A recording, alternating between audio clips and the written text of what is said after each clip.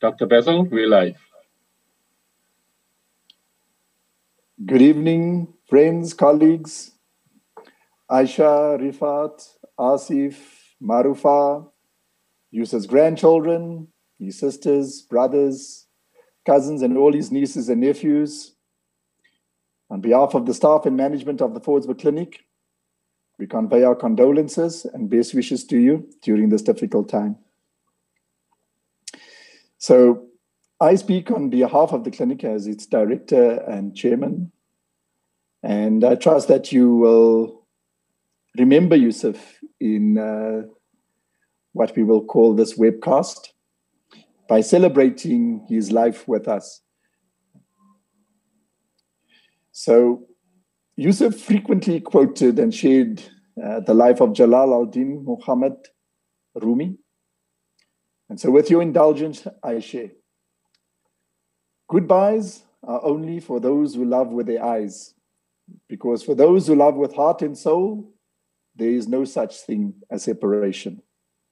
So there's no separation between us and, uh, and Yusuf.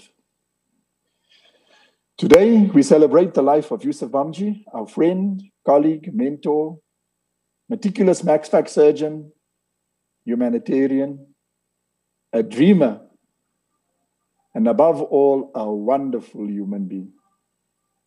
We were, blessed, we were indeed blessed to have him in our midst, and may the Almighty grant him the highest place in Jannah and forgive him all his shortcomings. This evening's uh, program, which is shared on the link to this channel, which we've all received, is to walk down memory lane with our speakers who come from various walks of life and have various relationships with Yusuf. And they will share various aspects of his life, personal narratives in most instances. And however, this is by no means exhaustive or conclusive but it will allow us to peep into the life of a very private person. So if you've met Yusuf, then uh, you'd think that he wasn't private, but he was extremely private. So to the world, he was friendly and open in many ways, open for discussion, and no matter who you were. But having said that, he was quick to excuse himself from chats that did not nourish one's soul let alone your mind. Messages of support and condolences have not ceased to pour in for our fallen friend. And I quote a message from one of Yusuf's academic mentors. This was uh, Professor Eric Raubenheimer. And Professor Eric Raubenheimer is from Medunsa, and he was uh, one of Yusuf's, um, not only his mentor, but he was one of the examiners for his PhD. And I quote Last Thursday, I presented a eulogy on Dr. Bamjee at the Head and Neck Oncology meeting in Pretoria. The chairman, Dr. Kluch, and 28 colleagues in attendance had a minute in silence in honor of him.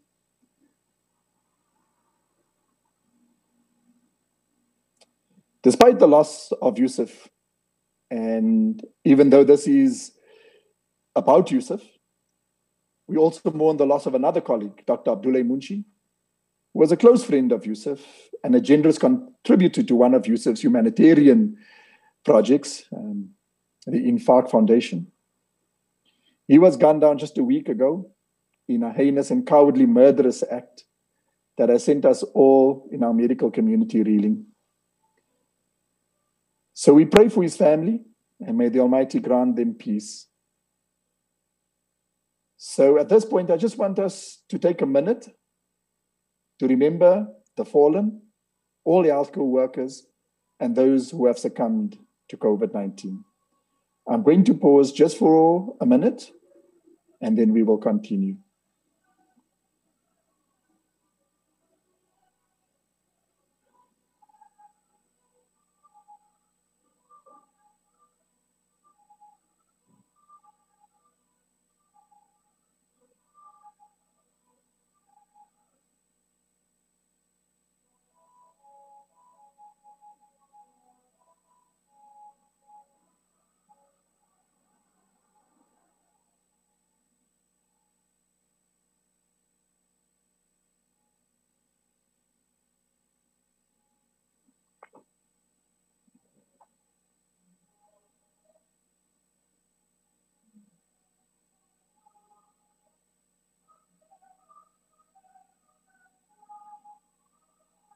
I thank you.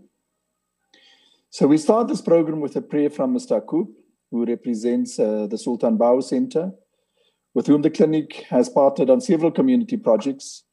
Um, we run a dialysis unit, they run a dialysis unit on our premises. They run an X-ray facility on our premises. And clinically, we've been working with them where we've addressed um, the need for cataract surgery in the community. And uh, we co fund it with them by granting them discounts. So I hand over to you, Mr. Akoob. Thank you very much, uh, Dr. Fick. On uh, behalf of Sultan Bahu Center, thank you, Dr. Fick and the Bamjee families and the Fordsburg Clinic management and staff for the invitation to be part of this memorial and uh, tribute to Dr. Yusuf Bamjee. Bismillah ar-Rahman ar-Rahim.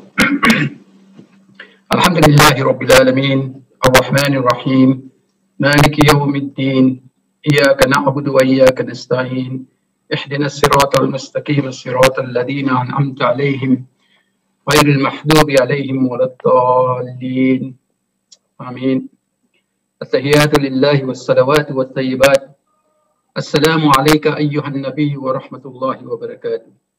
السلام علينا وعلى عباد الله الصالحين شهدت أن لا إله إلا الله شهدت أن محمد رسول الله بسم الله والسلام على رسول الله O Allah, bestow the finest of your benedictions always, and the most copious of your blessings everlastingly, and the purest of your salutations superabundantly on the most noble of human realities, on the bearer of the standard of the highest glory.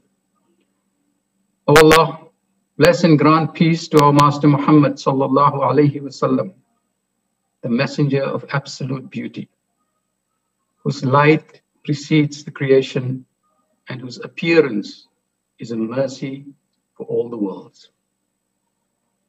A blessing that is permanent by virtue of your permanence, and perpetual by virtue of your perpetuity. A blessing that fills the heavens and the earth. A blessing by which all pain and grief is healed and transformed. Assalamu alaikum wa rahmatullahi wa barakatuh. We begin and uh, greet you in the name of Allah, in the name of God, in the name of Al Wadud, the most loving, most kind, most generous. And to the one, Al Muhi Al Mu'mid, the giver and taker of life, in whom and to whom we surrender today our pain, our sense of loss, and also our gratitude. To be counted among the family and friends and colleagues of one Dr. Yusuf Bamjee, whose life epitomized the power of love and service, which we all gathered here today have been recipients of. We grieve. Yes, indeed, we do. For we are only human. Grief is the price we pay for love. And our tears are not weakness, but a silent expression of the sanctity in which we hold life. Because tears take over when words fail us. With the merciful healing passage of time, today we have found our voices so we can speak a fitting tribute to Dr. Yusuf Bamjee.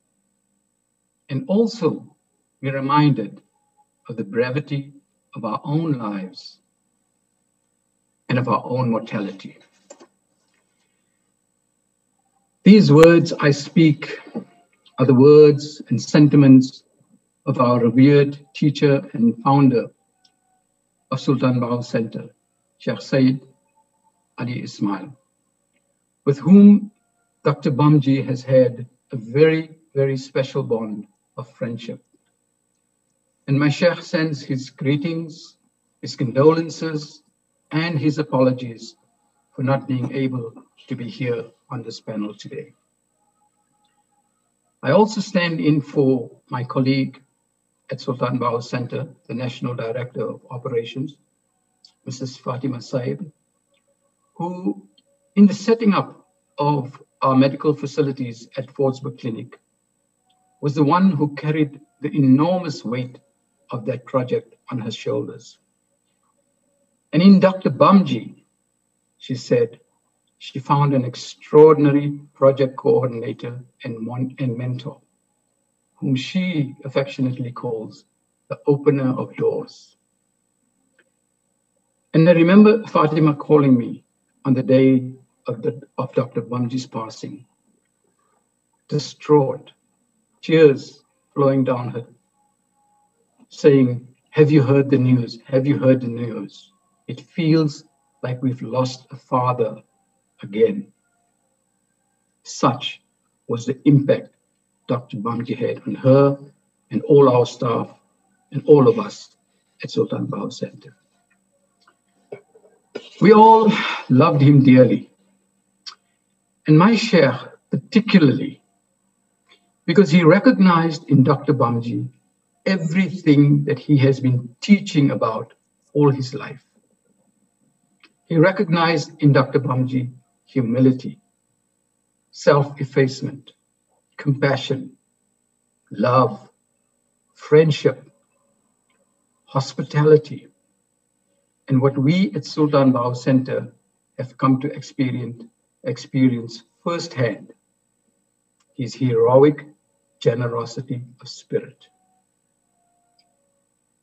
Dr. Bamjee's concern for us was always, always, what are your dreams for your organization? And how may we make those dreams come true? And that we always included Dr. Fick and the extended Fordsburg Clinic family.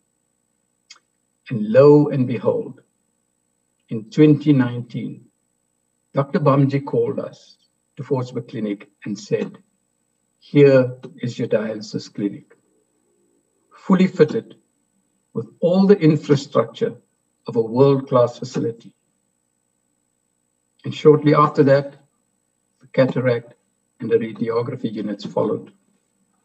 And today, we honor him at our clinic by upholding the highest standard of patient care and service excellence, which was Dr. Bamjee's sunnah. It was his way. In Dr. Bamjee, my sheikh discovered a man, a friend, a husband, father, son, academic, businessman, humanitarian, and student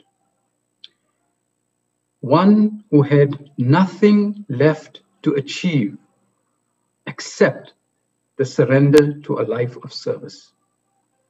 And these many tributes today bear testimony to that one single, singular, and unique characteristic of Dr. Bamjee. Today, we bid farewell to the physical focus of our relationship with Dr. Bamjee and greet the relationship with his soul that now begins anew. We release what was and make room for what shall be. Our gathering here today is to release what has been our human encounter with Dr. Bamjee, our shared stories, our individual histories, so that our hearts may open and be reborn to a new relationship with his soul. In the words of Dr. Bamjee's most beloved mystic and poet and teacher, Mevlana Jalaluddin Muhammad Rumi, rahmatullah alayhi, of Afghanistan. He said, When I die, do not look for my grave on this earth. You will not find me. You will not find me there. Look for me instead in the hearts of people. There I live there you will find me. To the family, Dr. Bamjee's wife, Auntie Aisha, and the children, Muhammad Asif and Raisa, and grandchildren, Aiden and Sophia, Marufa and Zahir and Muhammad Rifaat, and to Dr. Bamjee's brothers and sisters and the extended Bamjee families, and Dr. Fick and the, F- uh, and the Fordsburg Clinic staff, and all gathered here and beyond. We pray to Allah that your grief may move through you gently, and may a great love now encompass you, and a deep peace give solace and illumine your hearts. To Yusuf Abramji and the Dr. Yusuf Bamjee Foundation, you have the responsibility of bringing forth the beautiful world Dr. Bamjee envisioned.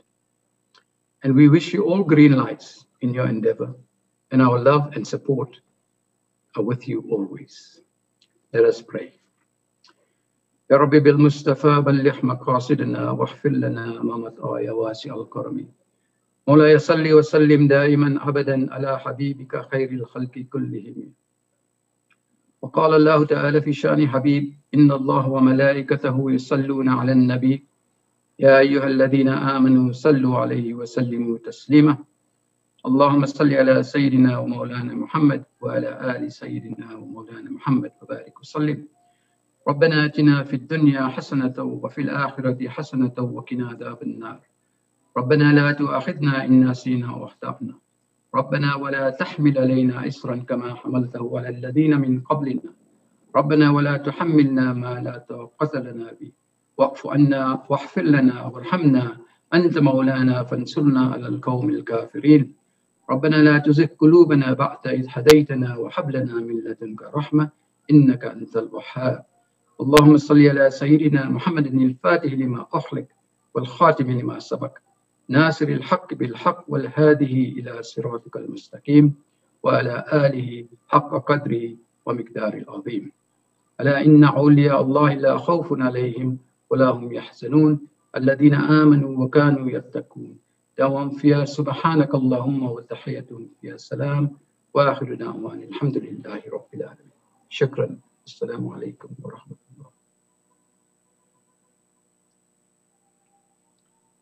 Thank you, Mr. Akoob. Thank you very much for those kind words, and thank you very much for opening up in prayer for us. We are going to listen to Mr. Ahmed Bamjee. He is the um, eldest brother of Yusuf. And um, he's going to share with us about uh, the early years. Those are the formative years of Yusuf Bamjee. And so we hand over to you, Ahmed. Thank you very much, Basil. Assalamu alaikum wa rahmatullahi wa barakatuh. I was left speechless when Basil had asked me to say a few words of Yusuf's early life. I could have taken more time in expressing the life of Yusuf, but due to circumstances and the time given to me, I shortened my speech. I start off with saying that the early years is family and formative years. Born in Vredendorp, that is Pageview, in 1955, he was the ninth child to my father Suleiman and my mother Rukeya Bamjee, and had 10 siblings, surviving siblings. In 1964, the family was relocated to Lenasia, Extension 1, under the Group Areas Act. Yusuf went to Model Primary School in Lenasia and then subsequently to Nirvana High School in the coming years. He exalted, he excelled in both academic and sporting arena and achieved Transvaal colors in athletics. He was an active sportsman and he was a member of Blackburn Soccer Club. During his school years, during his schooling, teachers were exceptionally fond of him. And until recently, teachers would inquire about him from his brothers. In his early years, Yusuf used to work during school holidays at my clothing store in Carletonville. He loved smart clothing and had a passion for button down shirts. He was always immaculately dressed from his early years. After graduating and after matric, he studied a BSc degree in Durban Westville University and went on to study dentistry at the University of Cape Town. During his holidays, Yusuf interacted with various Islamic institutions and forged lastly relationship and renowned with renowned sheikhs from the Cape community. His, he later returned home and opened a dental pract- dentistry practice in Bosmont in 1981. During his practice years, he went on to further his medical studies at the University of Witwatersrand, University of Stellenbosch, and later University of Pretoria. The last university where he did a degree in maxillofacial surgery was at the University in Medunsa. Yusuf obtained various postgraduate degrees and later obtained a specialist degree in maxillofacial surgery. Yusuf married Aisha Gattu on the 16th December in 1984 and had three children, Muhammad Asif, Muhammad Rifaat, and Marufa. Yusuf was a loving father and a doting grandfather to his two grandchildren. He, he was his father's confidante and was an exceptionally close relationship with his dad. He accompanied his parents for Umrah in December 1986 and was present at his father's funeral, which took place at the Holy Mosque in Medina. On the same trip, Yusuf went on to Islamic Medical Conference in Cairo, where he was elected as the South African president of the Islamic Medical Association.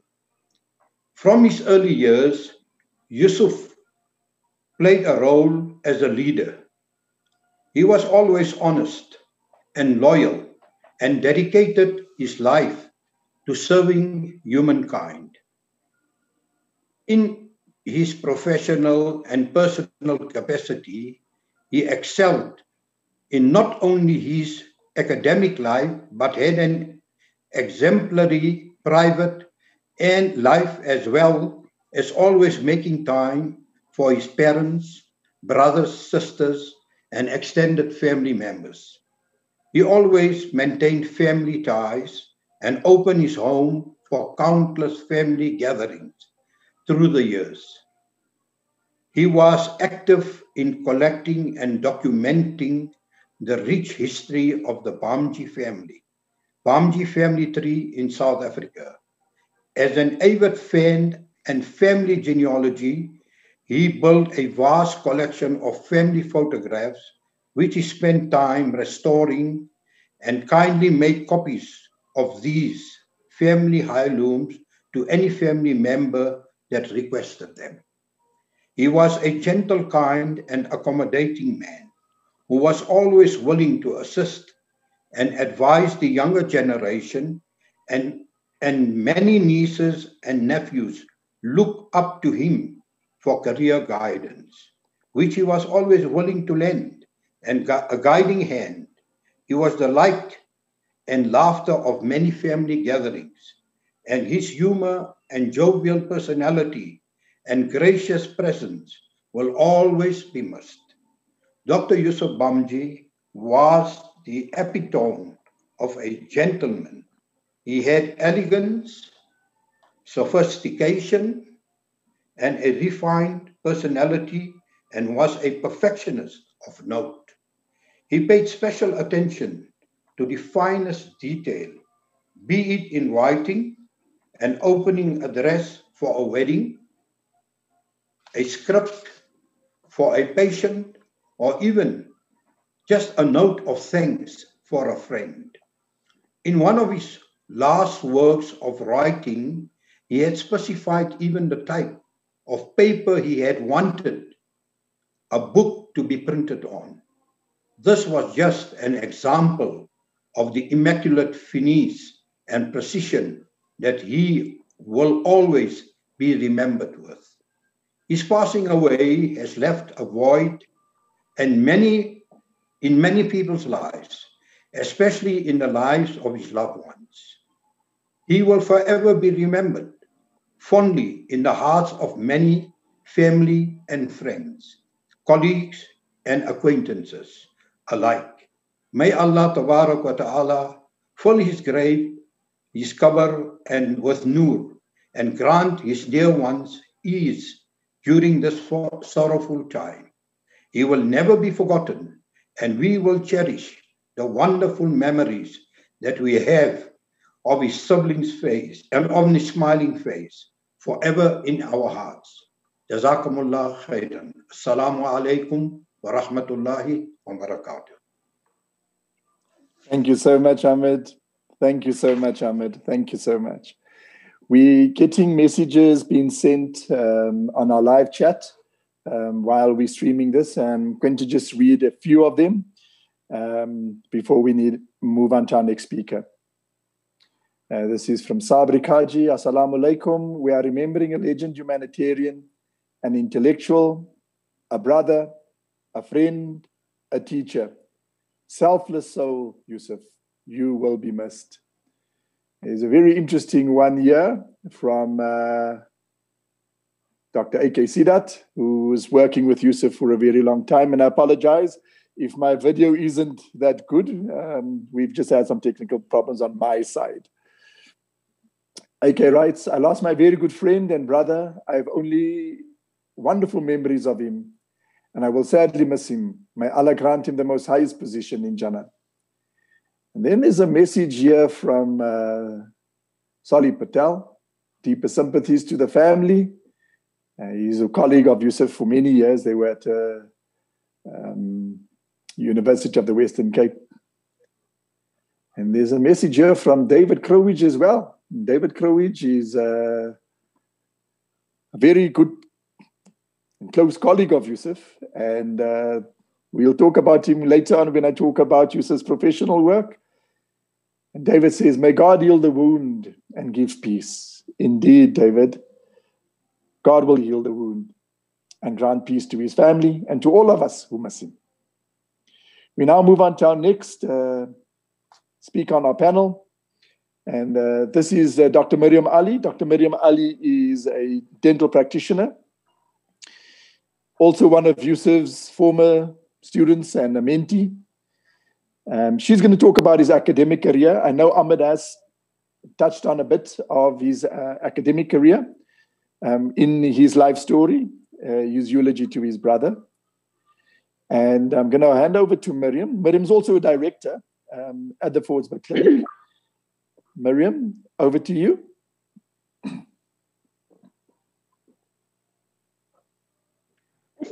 Thank you, Basil. Assalamu alaikum and good day. It's an honor to be part of the celebration of Yusuf's life. I met Yusuf after graduating. He was obviously our and Yusuf cunningly, would say, I don't know if I can use that word, wrote me into the Transvaal Dental Study Group and then branch, the Southern Gauteng branch of SADA. And then obviously I went on to the PPS board and a motivator. And I'm sure that many of us can say that he impacted our lives in some way or the other, whether it be on the professional so my role this evening is to showcase his academic career.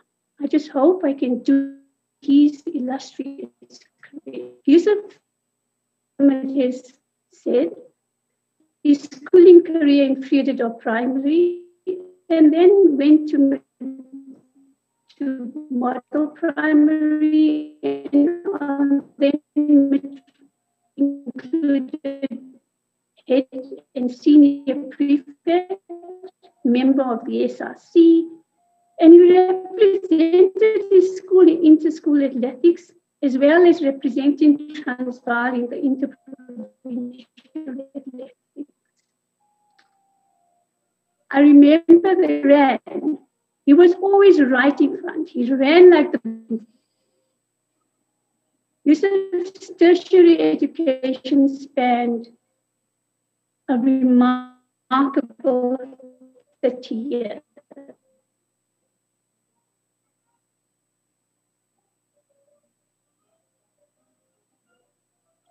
I think we may have lost Mariam um, on the webcast, but there's some photos coming through.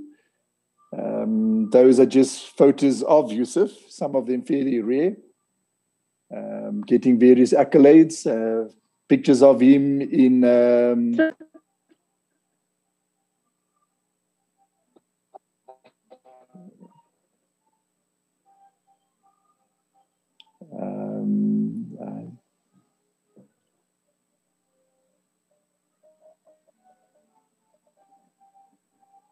Okay, we'll just. Okay, Ahmed, um, I'm going to talk through with Mariam. I'm just going to get us our next speaker. We're going to move on to our next speaker. We think we've lost Mariam, and we'll try and come back to Mariam. Um, and when we get back to Mariam, we will just pick up again. So, my apologies to all our viewers um, who have joined us this evening. Um, we'll come back to Mariam. We're going to move on to the next speaker on our panel, uh, also a colleague of Yusuf, um, the prosthodontist, uh, Dr. Ishmael Munshi, who has been gracious at a fairly short notice to uh, participate in this evening's um, celebration of the life of Dr. Yusuf Bamjee. So I'm going to put over to you, Ishmael, um, and please kindly go ahead. Thank you. Thank you very much, Basil. Um, and I thank you for asking me to speak at this celebration of a very special person. And to Aisha and the entire Bamjee family, I wish to express my deepest condolences. And as we know, he is in a better place. And I will remain grateful to the Almighty for the lifetime of opportunities that I had to meet Yusuf.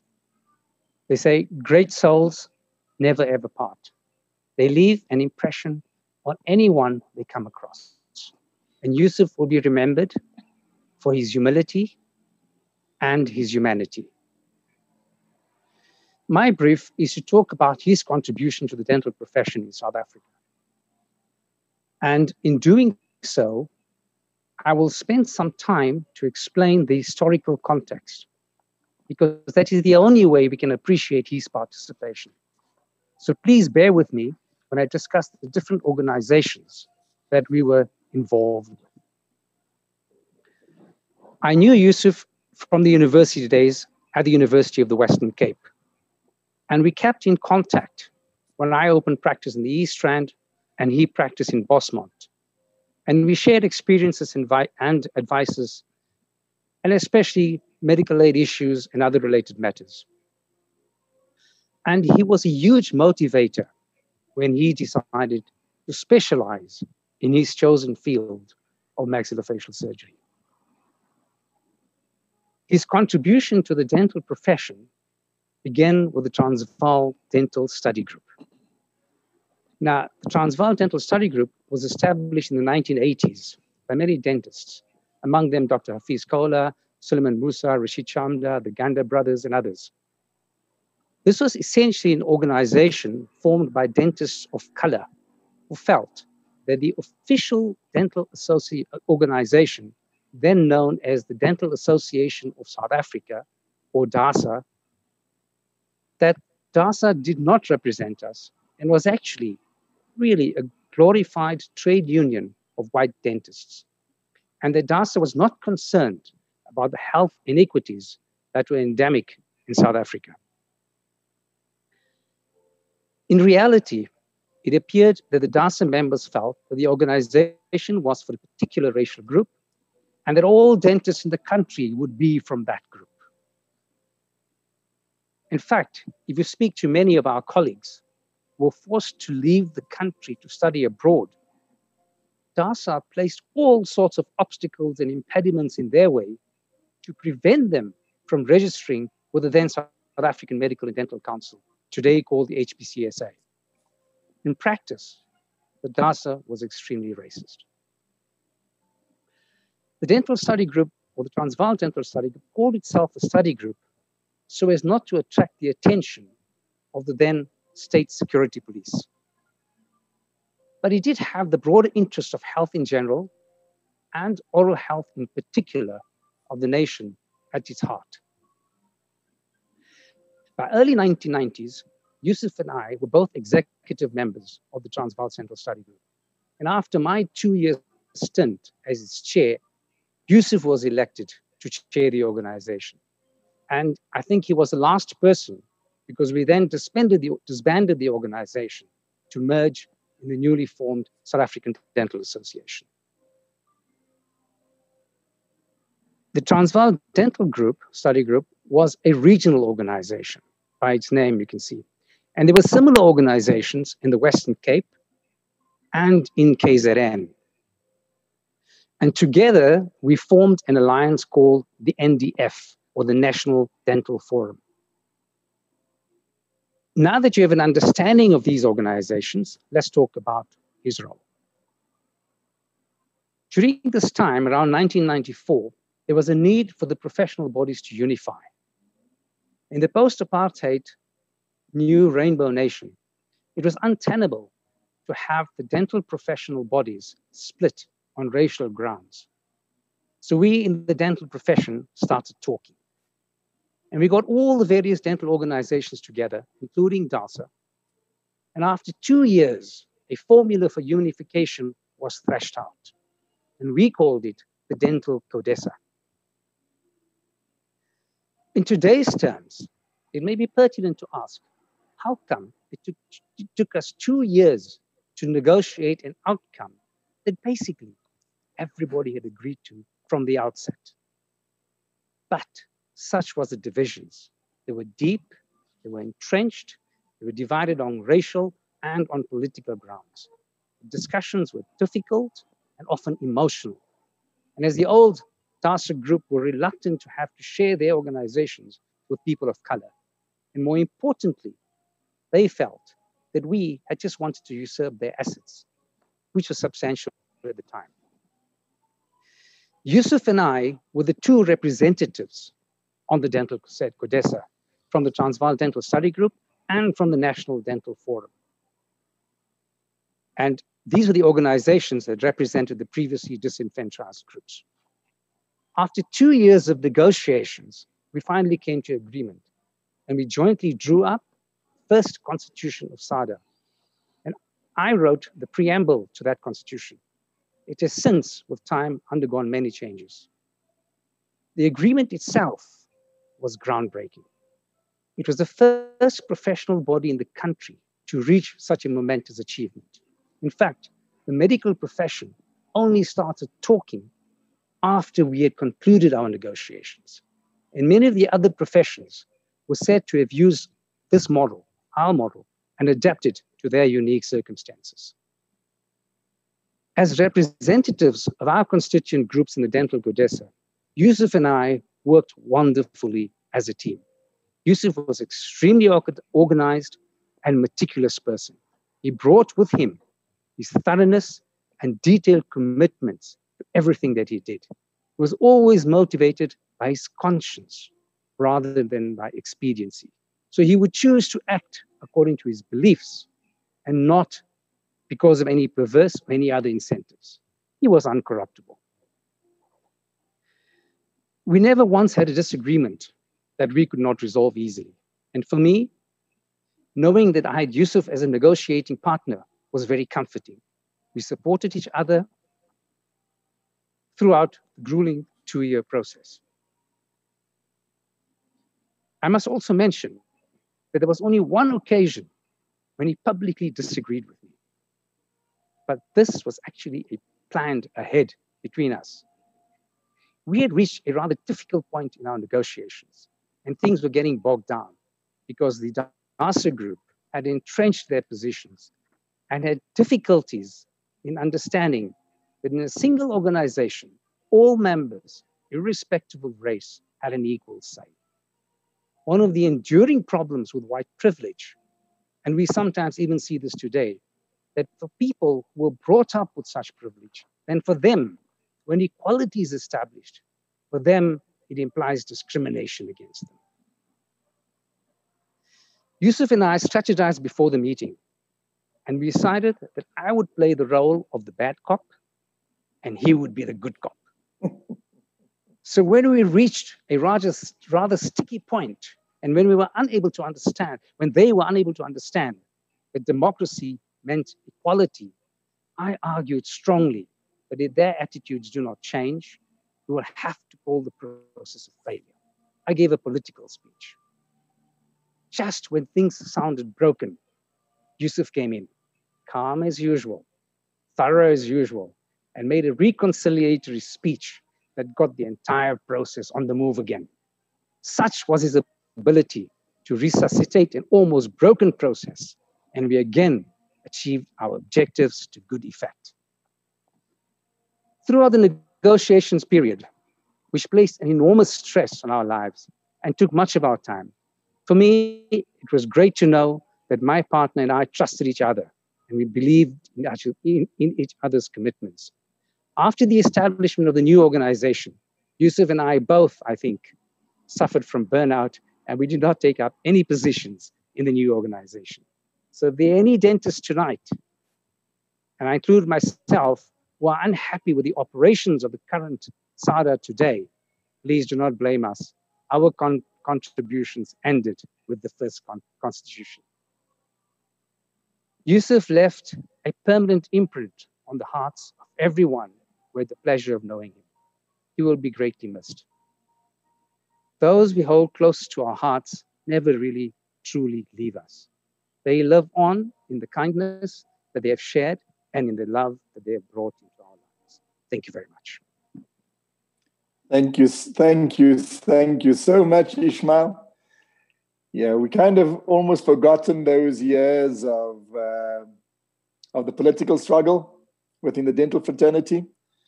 Um, lots has changed. There are more challenges for us now. And it's something that I hope as dentists, the dental fraternity, rise up to the challenges that you now face and never forget the years of what was true struggle. Um, and we always remember Yusuf not wanting to take up uh, the co-chairpersonship chairpersonship of the, the newly founded organization.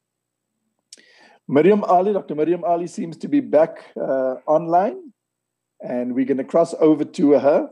In the background, um, while Mariam speaks, um, if she doesn't, if you don't see her face, there'll be photos uh, which are quite quite interesting. Uh, it's a peep into into Yusuf's life. Over to you, Mariam. Thank you, Basil. Apologies to everyone. Just a technical, some technical issues. I'm um, so I was busy talking about Yusuf's tertiary education. And like I said, his tertiary education spent 30 years. Obviously, he started his first year at BSc in Durban, University of Durban, Westville. And then he got into dentistry at the University of the Western Cape, where he was awarded the Mobile International Bursary, which was uh, jointly sponsored by the University of, um, of the Western Cape, as well as uh, the International uh, Department of Race Relationships. Yusuf completed his undergraduate degree in, in dentistry in 1982. I got in touch with one of Yusuf's colleagues from uh, university, Dr. Chuni Ratan, and he says that Yusuf was a very studious uh, student. He was passionate about his studies. He never bunked any classes, So that when any of them, any of the group bunked and they had to catch up notes, they would obviously seek out Yusuf's notes because Yusuf's notes were textbook quality. And I'm sure this must have been the case because, you know, when we sit in meetings and you look at Yusuf's notes, they were immaculate, neat, color coded. They almost resemble calligraphy. Yusuf was meticulous and he was a perfectionist. This showed up in, in, in everything he did. If you ever was in a meeting in his office, you would notice how orderly things were. If sometimes if you opened his patient files, that was just mind-boggling. I mean, I don't think any of us write that neatly in our patient files. And if you had the privilege of assisting him in theater, his these attributes shone through there as well. His stitching, his, you know, everything was orderly. His assistants knew that everything had to be in a systematic way, they had to be in order, and he was pedantic about these issues.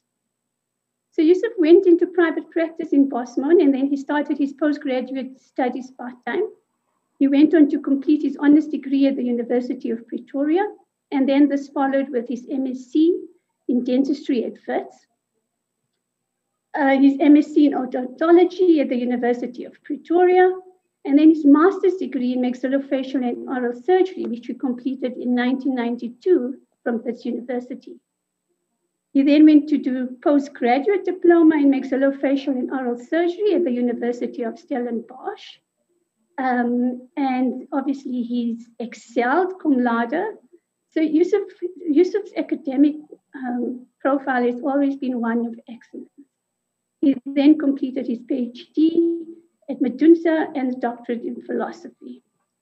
Between 1992 and 2006, Yusuf was involved in ongoing postgraduate research and studies in both fields of maxillofacial oral surgery as well as maxillofacial and oral radiology at the University of Witwatersrand, the University of Pretoria, the University of Stellenbosch, and the University of Medunsa. Yusuf's academic write-ups pertain predominantly to pediatric dentistry, uh, and he was very, very passionate about dentistry for the handicapped patients. And another passion was uh, that he wrote about was pain and its application in dentistry. Yusuf's research publications included um, an article titled The Maxillofacial Injuries in a Group of South Africans under, the 18, under 18 years of age, which was then published in the British Journal of Oral and Maxillofacial Surgery in 1996. Dr. Bamjee also provided professional academic assistance and supervision of students, qualified doctors, dental surgeons, and specialists in the study of diplomas, honors, and then master's degrees at various South African universities.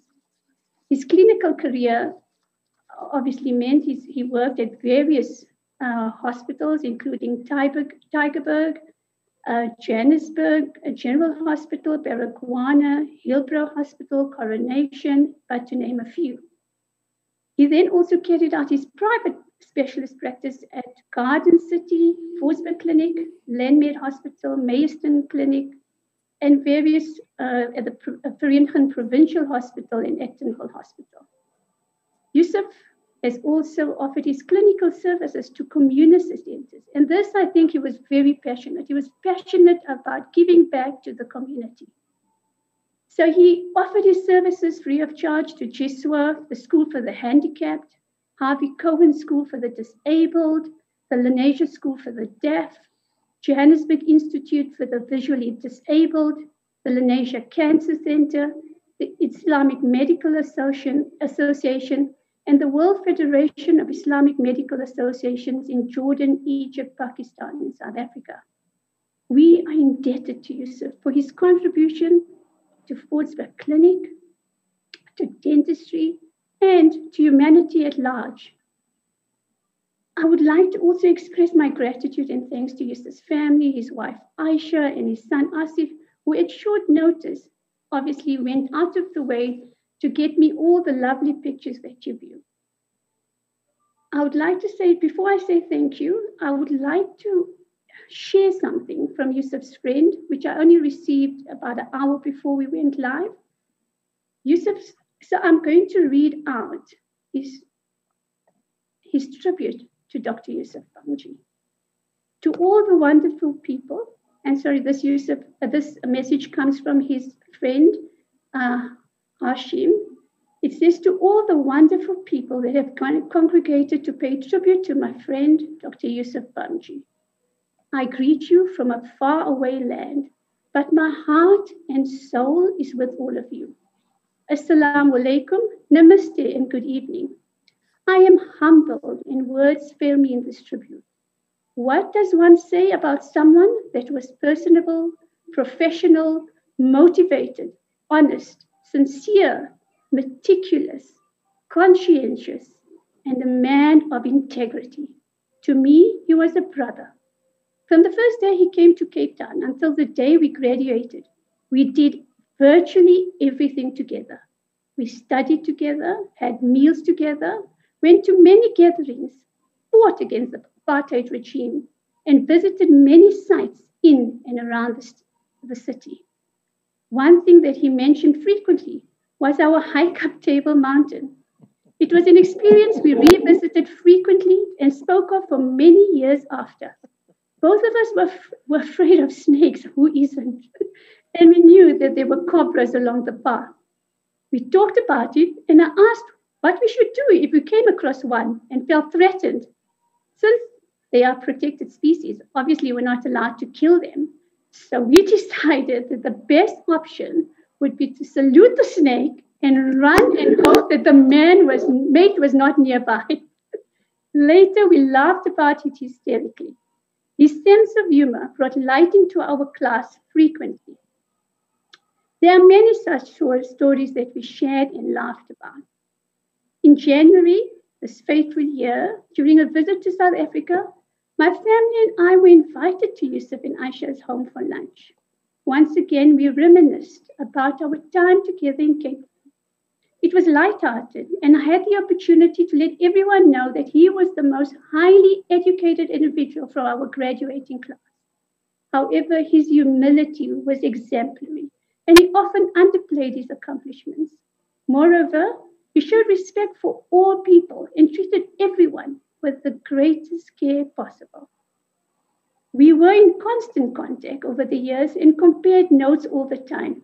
On a particular note was his concern for those less fortunate, and he excelled in his outreach programs. This past week, I have really been struck, and many people asked me what was wrong with me. I said I was fine to appease them, but those that know me felt something was amiss.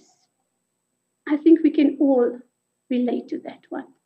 I have had difficulty thinking clearly and frequently went into my private office to pray and reflect. This has really hit home for me and questioned our mortality as frail human beings. I extend my sincere thanks to those who were concerned for my safety. Since the, report, since the first reported case of the virus out of China was in Washington state where I reside, Yusuf showed great concern for me and frequently inquired about my well being.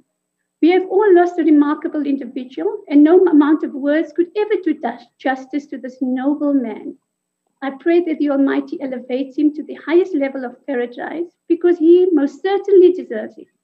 It is with humility that I offer my prayers to Yusuf, Aisha, and their family.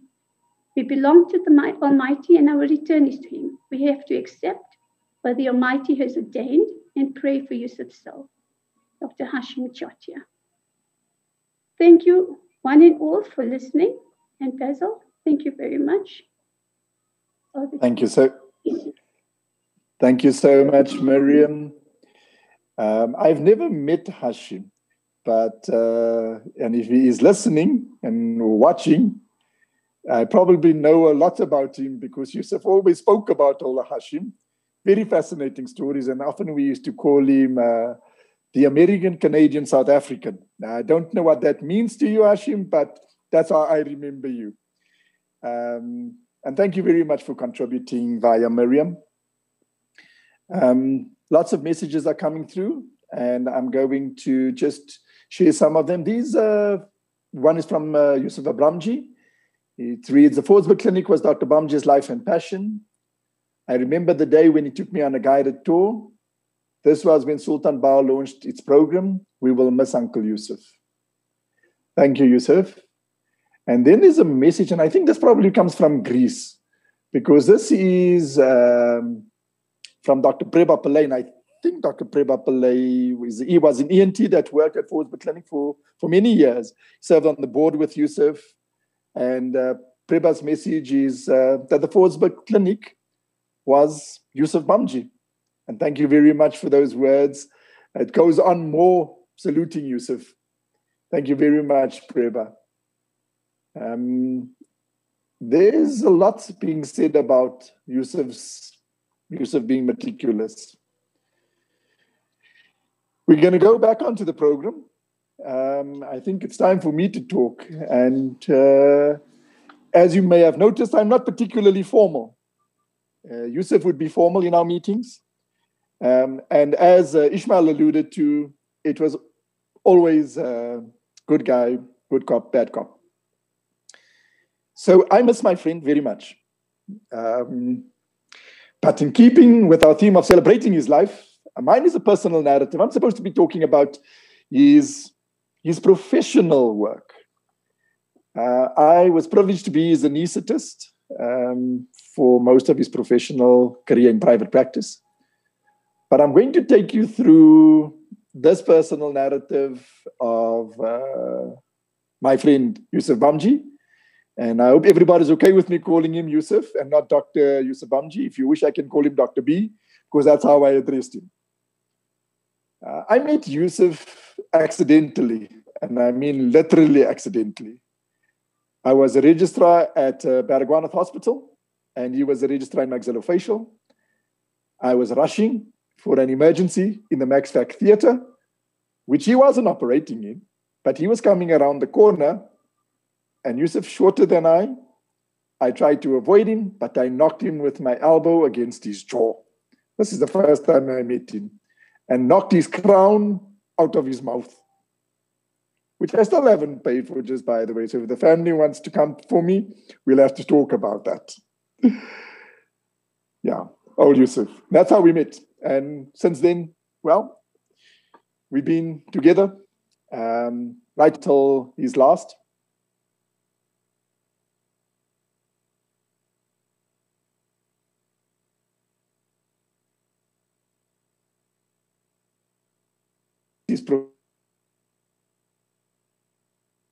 Max Fac surgeon circuit, sorry. He ran a dental practice in Bosmont, and he always shared fond memories of that practice because often we'd see patients, they did say, I treated this patient when they were little. Their mom and their dad brought them to me, and now look how big they are. And in particular, his ex, well, our ex colleague, uh, late Dr. Vernon Meyer, he always had these fun stories about how Vernon used to come to, uh, to his, his surgery with his children and how his relationship with Vernon developed after that, where Vernon eventually also became his anesthetist. So, one of the, the, anecdotes from his practice was, which he carried on into his life, because you could never phone Yusuf after a certain time in the afternoon, because Yusuf would be sleeping. And he had this Mrs. Jones, Nora Jones, late Nora Jones was his receptionist, and she used to make a bed on the floor for him. So very fascinating. You always believe that you're going to live mm, very long if you slept in the afternoon. And I pray, yes, that you would have, because we had this discussion about how long we were going to live not so long before you fell ill. Anyway, let me not get lost in talking about Yusuf. Um, when he entered the MaxFac circuit, and this is from when I really got to know him, um, those days were hectic being a MaxFac registrar on the Wit circuit uh, meant that there were lots of nights you were called out for uh, emergency surgery, fracture faces, um, working together with a plastic surgeon, etc. And that's, of course, we also met uh, Dr. Anwar Kadwa, the late Dr. Anwar Kadwa, and they, they had a good relationship in terms of the work that they did.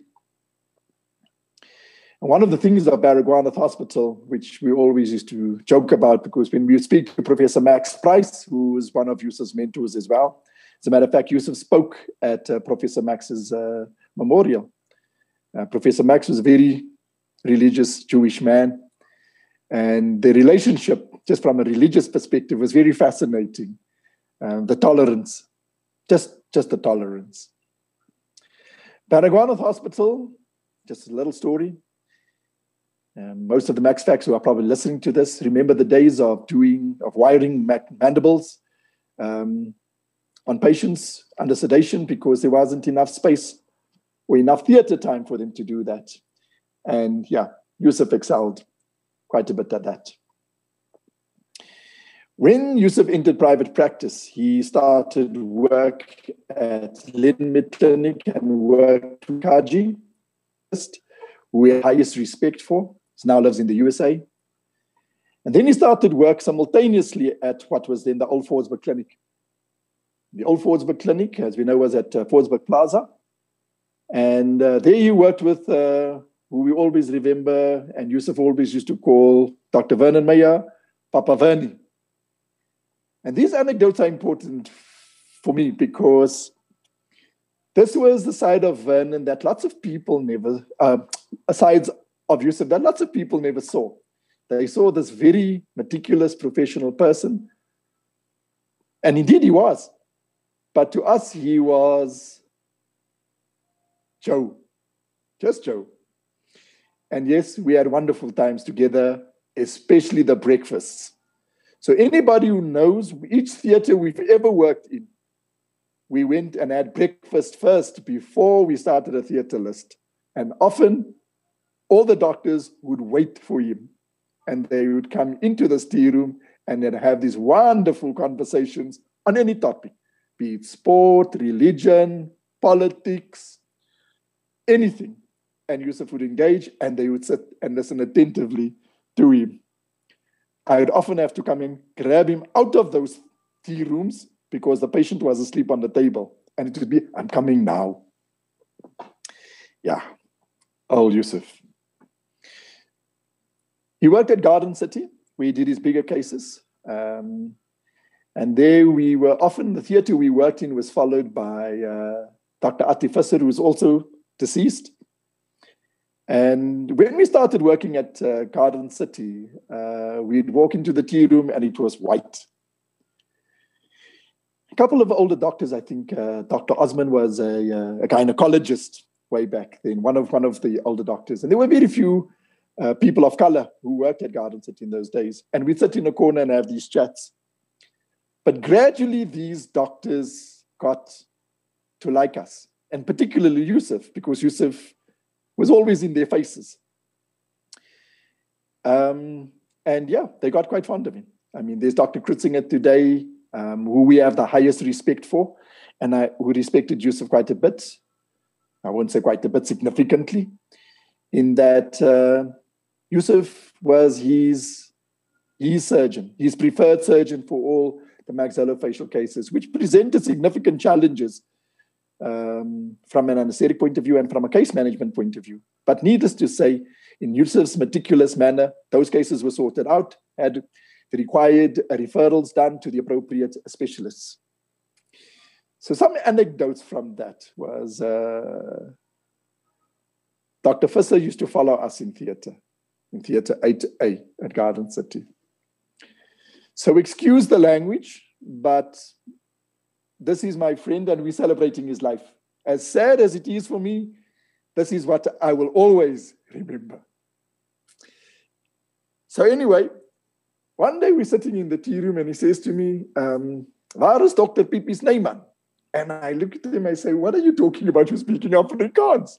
And he says to me, You know what I'm talking about. And I'm like, Did you did I just hear what you said? And he said, yes, you do understand Afrikaans. And that was his name. He was a urologist and he was Dr. P. Snyman.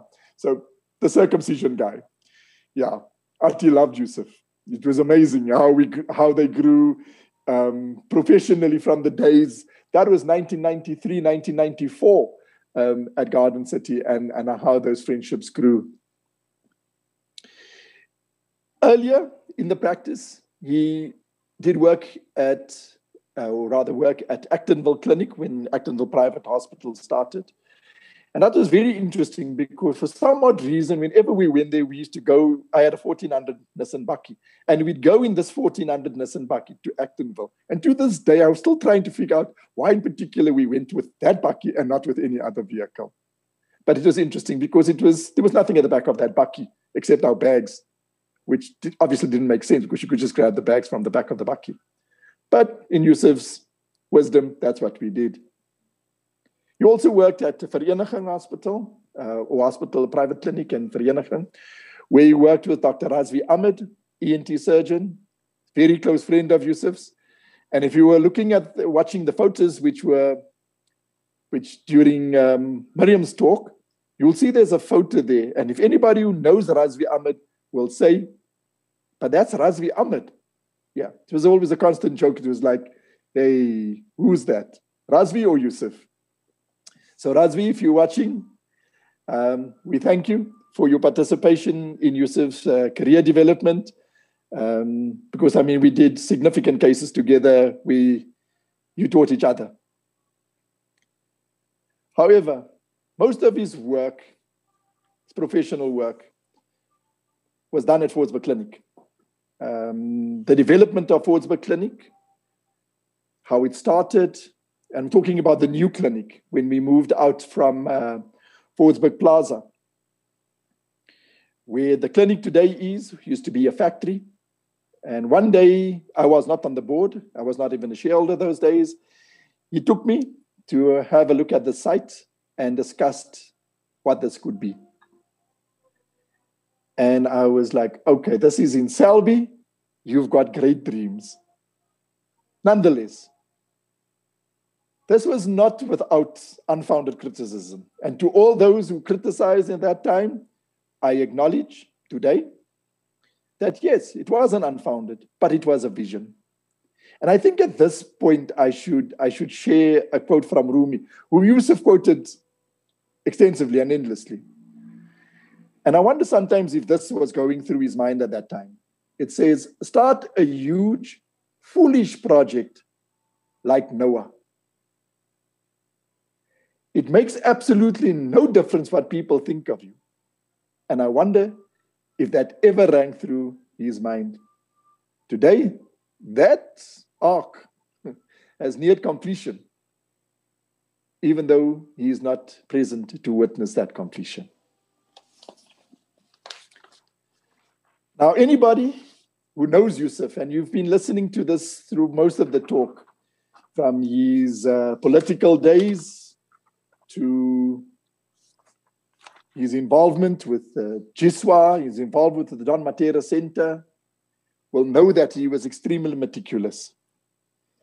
So, preparation of his patients for theater followed that same routine. He suited like a tailor. And we often used to tease him and say, I wonder if Mr. Bamjee, because that's how he referred to his dad, if Mr. Bamjee had taught him how to stitch, because I would be calling last stitch, and Yusuf would be going and stitching and stitching because we need to get out of theater, we need to follow on. But he was extremely meticulous in his work. The laying out of instruments, and if you were a new sister, calmly, he never got upset, never. You'd calmly say, Sister, um, this is how you put it. You, otherwise, you're going to prick yourself. And he'd lay out these instruments. He taught endless amount of sisters. And we've got very fascinating memories of uh, a sister called Dudu who would fall asleep on the Mayo table, and that's a table that goes over theater, over, over the patient when we operate. And yes, the conversations in theater, they were endless. So his work was meticulous, but so was his conversation. And we talk about everything. I mean, absolutely everything families, people, the stories, etc. And many people who are watching this webcast joined us in those theaters. He taught them, he shared with them. He was always keen to help, always keen to help and teach. And one of the speakers today, uh, Shaukat Waja, will, will bear testimony to that. Um, there's Bertie Napier, who's out in the UK, um, Imran Hashwari, Bilal, and um, and his wife, Bilal Pir and his wife. Um, and as a matter of fact, most of the piece came through through through the theaters with us. It was fun, absolute fun working with Yusuf. So as a professional, you would be serious, but he'd flow into this casual, almost casual-like appearance and facade, but you were so effortless in doing that. And that is what I am going to remember my friend most. But I could go on forever um, and just talk about his professional life that I was witness to. I'm going to share just a short joke, and I think uh, if, if it, it's appropriate or accepted, rather. So, part of Yusuf's character was he always made jokes. I don't know about India, but with me, there was always laughter. We always laughed. It was always jokes, even in the seriousness. And even as serious as we are commemorating his death, there's this joy in my heart. So one of the guys I mentioned, uh, Dr. Krowich, was uh, at our clinic one day, and with all due respect to you, Dr. Krowich, and Dr. Krowich is a dentist who served at the South African in the South African military as uh, the chief dentist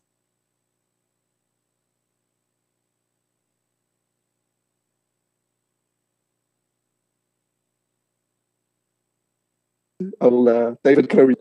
And David says, No, I'm in the military. He says, Yes, you Lieutenant, Colonel, Lieutenant Colonel Crowich.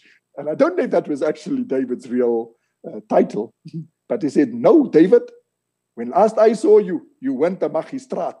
So he said, What do you mean? He says, you mag bly op die straat. David, thank you very much for indulging us um, in having to in having the being afforded the opportunity to share uh, some light lightheartedness at this time. Maroom Yusuf Bamjee, you now dwell in eternal peace. The Fordsburg Clinic remembers you will never be forgotten. We're just going to have uh, a short clip on messages from some of the staff at Fordsburg Clinic.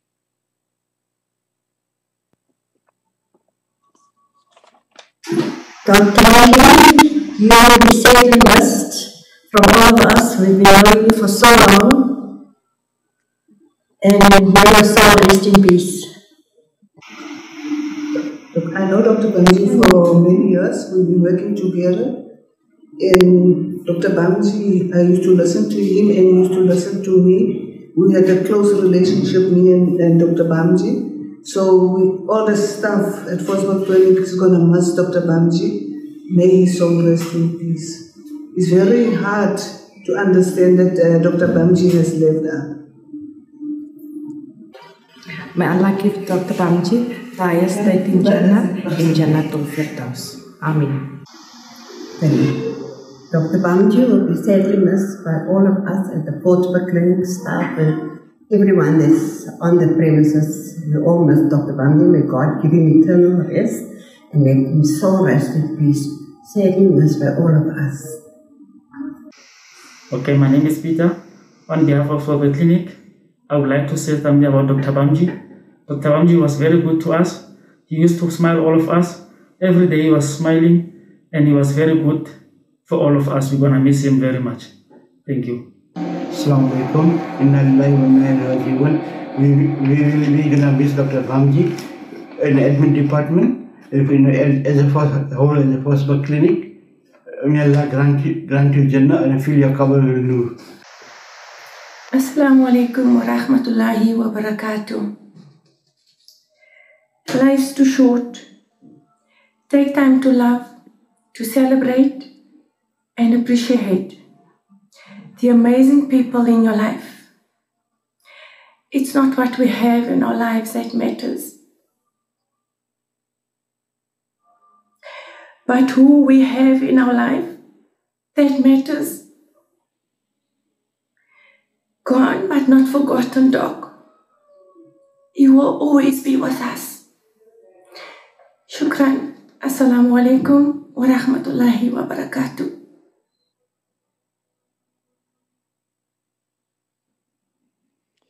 Thank you to the staff of Fordsburg Clinic for their messages of condolences. And yes, there will be many who will still hurt, and there will be many that will miss him. I'm going to move on with the program. Um, it's already uh, past an hour. We're going to talk about Yusuf's religious involvement and his humanitarian work. And I don't think there's any better person to talk about it than uh, Dr. Shaukat Waja. I think most of us know Shaukat. Uh, Shaukat um, has his own trust, the Waja Camino Trust, where he assists um, individuals who are underprivileged um, and have um, disabilities in their dental treatment and other uh, needs that he assists with. I'll hand over to you, Shaukat. Thank you very much.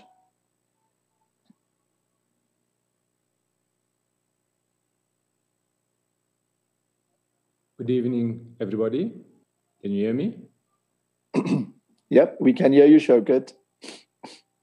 Salamus, everybody. Namaste, Saubona. Thank you, Basil, for giving me the opportunity to participate in this program. It's a real honor for me, and I certainly hope that I can do justice to the legacy of what was truly, truly a great human being.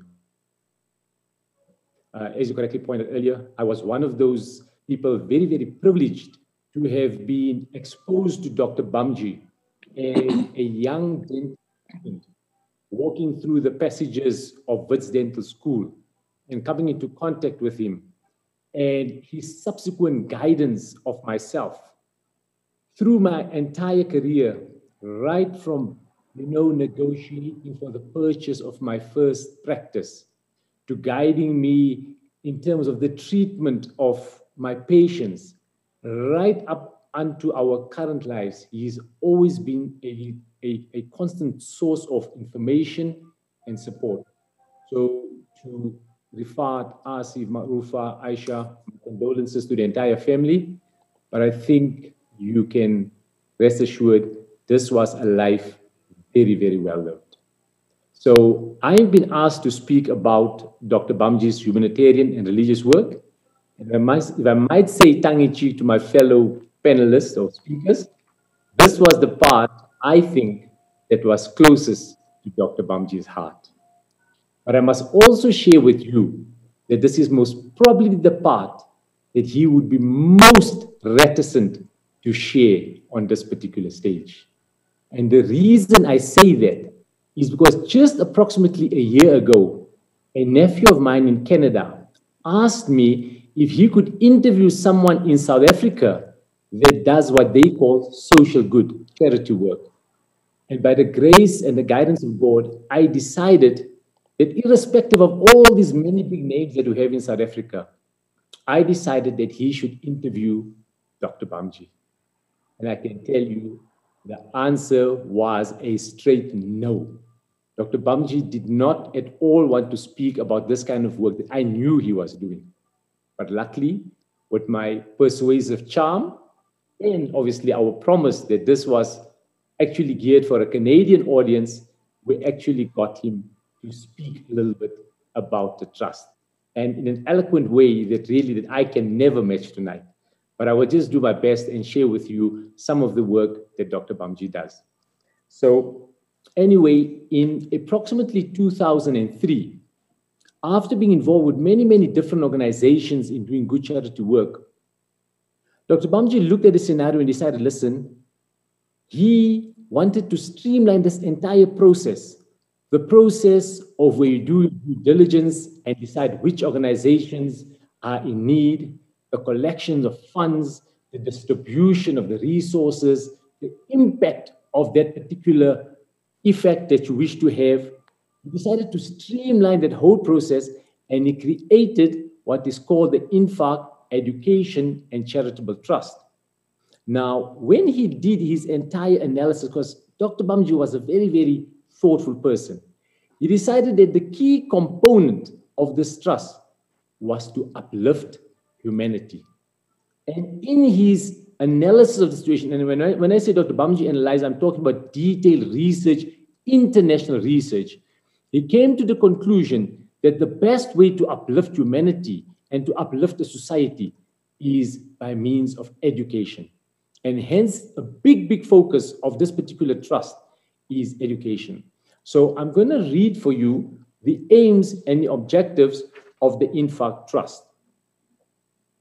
The aim of the trust is to cultivate knowledge and love for the ideals and principles of humanity amongst the orphaned, abandoned, needy, abused, and destitute children, and to work for the cultural, social, and educational upliftment of these children, to provide for the benefits of orphans, abandoned, needy, abused, and destitute children, irrespective of creed, color, and culture, with the proviso that such assistance will be fostered in accordance with good principles and guidelines. Now, the various organizations that Dr. Bamjee interacted with, I will read to you out now. The various categories that he created and assisted were educational institutes, orphanages, homes for destitutes, mosque buildings, elderly persons through groups, Quranic studies, medical and health assistance, inter-organization support, alim, imam, and teacher support, welfare organizations, disaster victims, special legal assistance. Just take that in for a few minutes, people. That is the range of organizations that Dr. Bamjee assisted. When many of us are participating in one program or two programs, fantastic. But that is the range of programs that Dr. Bamjee participated, participated in. Now, what I want to share with you, I've had the privilege of spending a little bit of time with Dr. Bamjee. And I can tell you that Dr. Bamjee was a highly intelligent person. Dr. Bamjee gave tremendous thought to everything that he engaged in. And he was, as we've heard so many times, an absolute perfectionist. Now, in every aspect of this trust, those characteristics are reflected. So I want to share with you if you look at the logo of this trust, I'm talking about the logo, then every aspect of that logo has a narrative. If it has six sides, there's a reason why it has six sides. If the two lines on the side are narrower than the lines on the top, then there's a reason for that. The pen coming from the top, the book in the center of the logo, the word ilm written in the center of that page. All of those things have been thought out meticulously with weeks and weeks being spent on that particular process. The aims and objectives, the budget allocation of the, of the trust. For example, Dr. Bamjee knew exactly that 82% of the funds would be focused towards education activities, 13% to skills development, and 5% to social welfare. And people would get a shock when they actually hear the budget that went through this trust, which was in excess of about 25 million rand with every cent managed and accounted for. So it was truly, truly something phenomenal. To summarize some of the activities, let me just share with you, in summary, some of the things that, that he did. Now, to properly understand the extent of this INFAQ educational trust, Dr. Bamjee and his trust supported 72 institutions, schools, and organizations. And I'm going to read just a few of their names. So he supported the Darul Islam Boys and Girls School, including the masjid.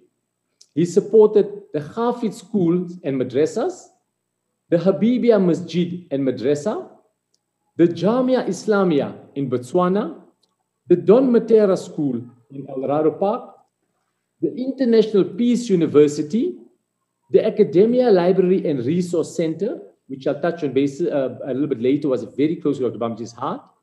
TIBA, which is the services for the blind. Al which is the Islamic Institute for the Deaf.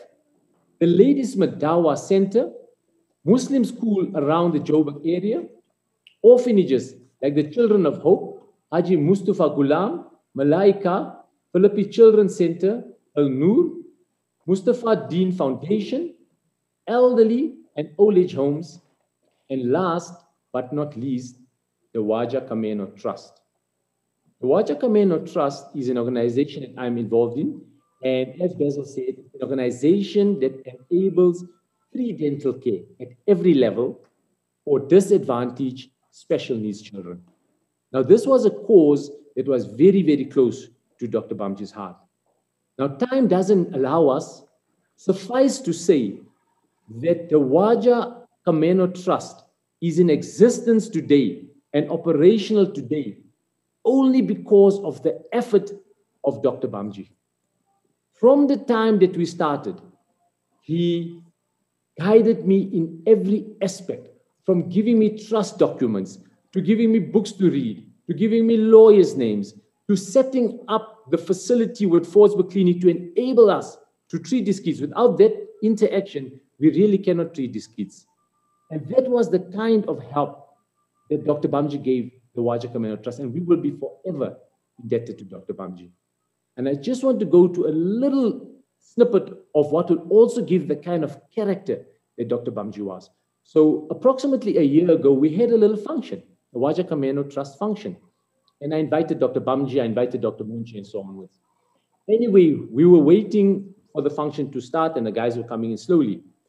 And eventually Dr. Bamjee walks into me, walking in a bit gingerly, and I said, son, Dr. Bamjee. Basil, I used to call him Dr. Bamjee, not Joe and this. Dr. Bamjee, you walk in a bit gingerly. And he says to me, Shaukat, you know, I must tell you, I almost didn't come tonight. I said, okay, what happened? He says, I'm in extreme pain. My back is quite sore.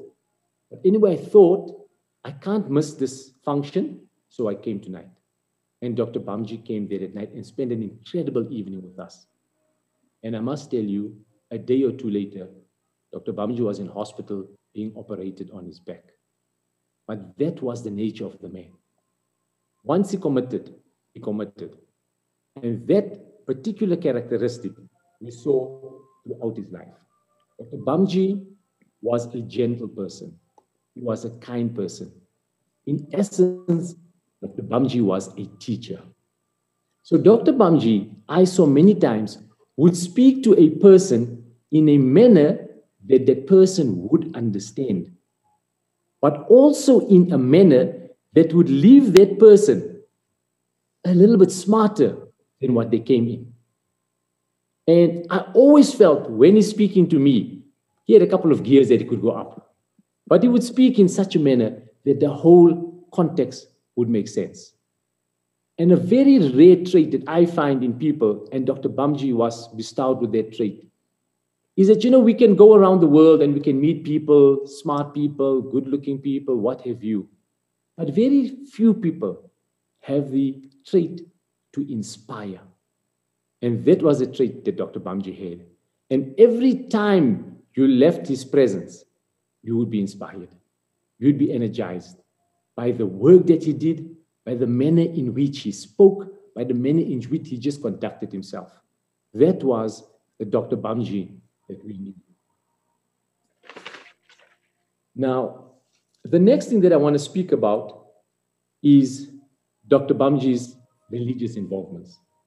Now, for me, as with all things, Dr. Bamjee was a lifelong scholar and a teacher.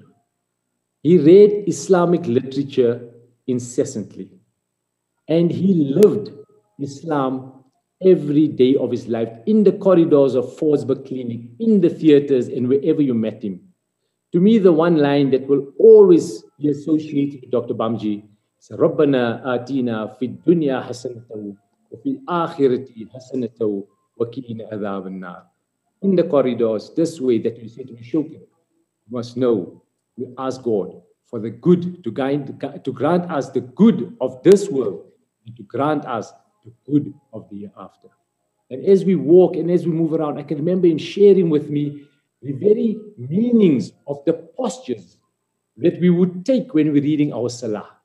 What it meant when we raised our hands, what it meant when we folded our hands.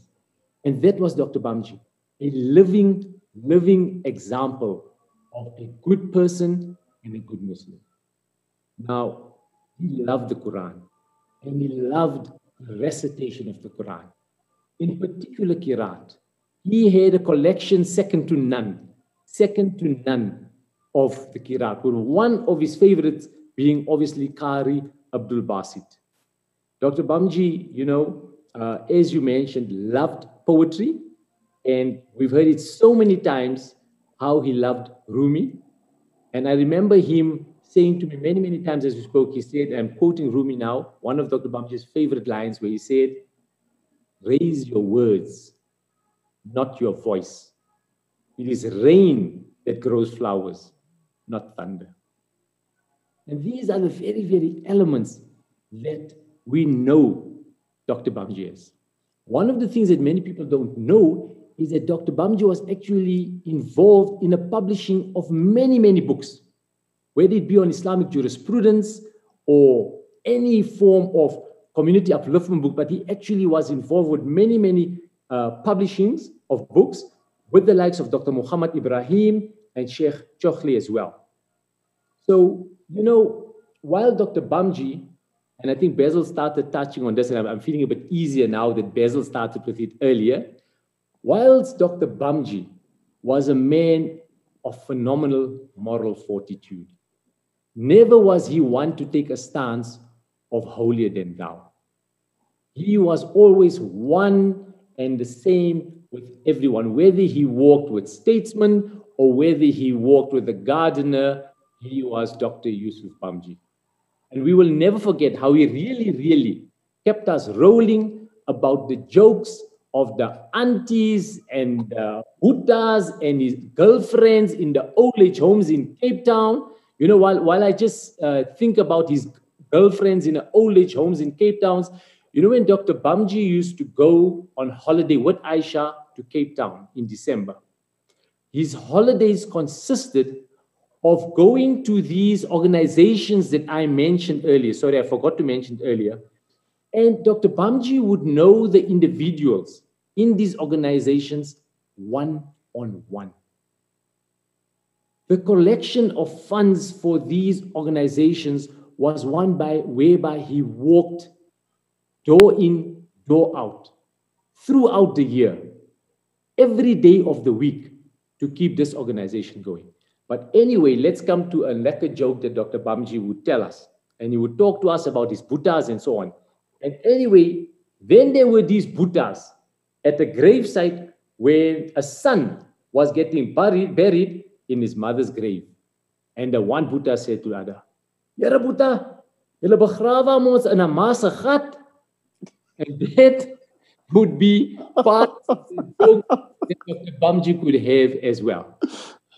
So once again, you know, in conclusion, may I say, you know, if we ask, did Dr. Bamjee have a heart of gold?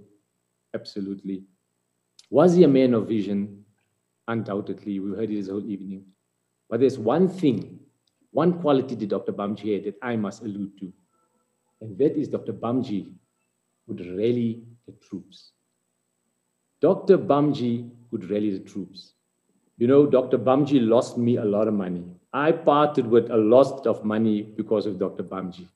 And the reason for that being is that I constantly bought into his vision and I bought into his dreams and I bought into the work of uplifting the community. And no amount of money can repay anyone for the kind of benefit derived for the work that he has done. So I make a humble appeal to everyone, to all the people that have participated in this, because it was not a one man show. It's a lot of work taking place behind the scene from his staff, from Basil, from the various, various people like Advocate Johan and all the various other people that were involved. Let, I'm, I'm appealing to everyone, including the donors, let us keep supporting the INFAQ Trust. Let the, let the legacy live on. You know, I believe if a person has utilized his talents and he's married it with what the world needs, then he's been successful. If he's utilized his talents and if he has utilized his passion to uplift the community in whatever way they need, then I think that person has been successful. So, you know, Dr. Bamjee was a principled human being and a principled surgeon, fiercely driven in his dedication to his profession and for the upliftment of humanity. It would be a privilege to be able to keep his legacy alive by honoring and empowering the next generation to follow in his footsteps. May we honor his life by modeling his greatness of character. And with that, I say thank you, and let's do everything we can to keep his legacy going. Thank you.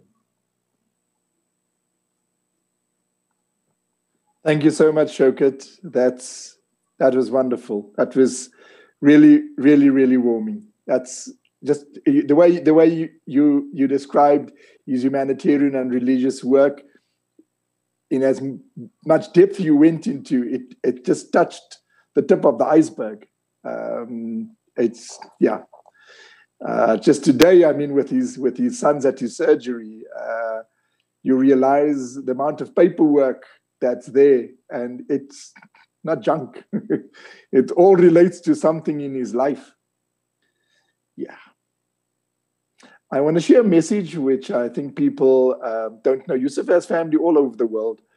Um, and uh, Ahmed alluded to the paper of, that he required for writing the book, which was essentially the genealogy of the family. And I'm going to read a message here. This is uh, all the way from uh, Barbados, Canada, USA, and Dominica. And he says, We are deeply saddened by the passing of our cousin, the Baharia family. Thank you very much for your words of support, your words of condolence, your words of comfort. We're nearing the end of our program. I'm going to introduce you to uh, Yusuf's younger son, um, Muhammad Rifaat Bamjee, who's going to talk to us about the last, what I call the final days. And he asked me what he needed to talk about. So I said, just the final days as a son. Your own experience of your dad. I know that you've shared with it on different platforms, um, your, your experiences with that. So take your time in terms of sharing with us, uh, Rifaat.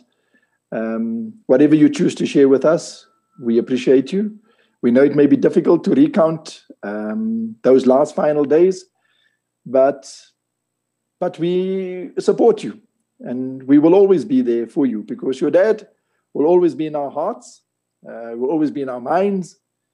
And indeed, in everything that we do, we will remember that which he has sowed in us and uh, we'll carry on his work. Over to you, Rifaat. Thank you for that, Doc. Good evening. Assalamu alaikum. Sabona. And a warm thank you to all of you. Um, this is a very mixed emotion vibe that I've now gotten after I've heard all of you speak.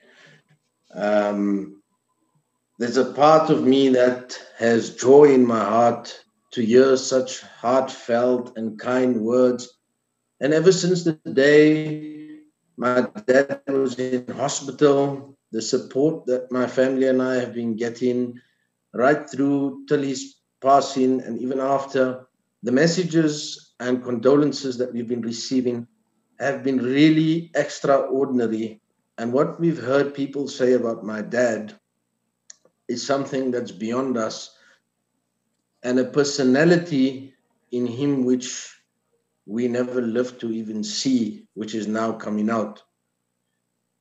Um, Today, my brother and my sister and I was the first day we decided to visit Fordsburg Clinic, and it was quite emotional for all of us. But when we entered, we could hear Dr. Bamjee's voice echoing through Fordsburg Clinic today. And if there's one thing I can derive from all of your messages that you've put through is the word meticulous. And I was just telling my uncle and my cousin who's sitting next to me now, not that you guys never do a good job, you've done a great job in coordinating this Dr. Fick.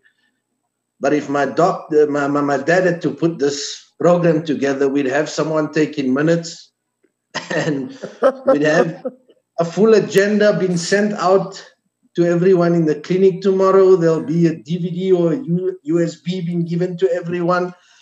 And he'd go to town with, you know, something like this.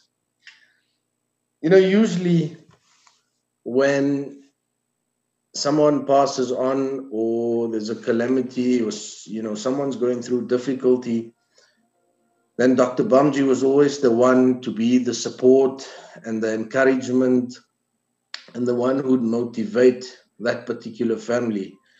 And I know when I gave a tribute uh, the day after he passed away, I was quite ill. I had pneumonia myself and I was quite emotional. It was quite a hard time. So today I'm going to try and leave the emotion aside and we're going to talk about some good times we spent with him. And in saying all of that, before I get to that, um, you know, he always told us that when I die, don't mourn. And he left a beautiful Rumi quote with, with, with us, which I'll render to you guys just now. And when I look back at the days after his passing, and I want to thank a lot of family and friends, especially our extended family, uh, Mr. Abramji, Yusuf Abramji, who made this house as if it was a celebration. It was a, a funeral and a gathering which I've never experienced or none of us experienced before. This house was live, uh, alive with his words and his voice echoing through the Quran every single day was being rendered in this house, and it was such a joyous occasion.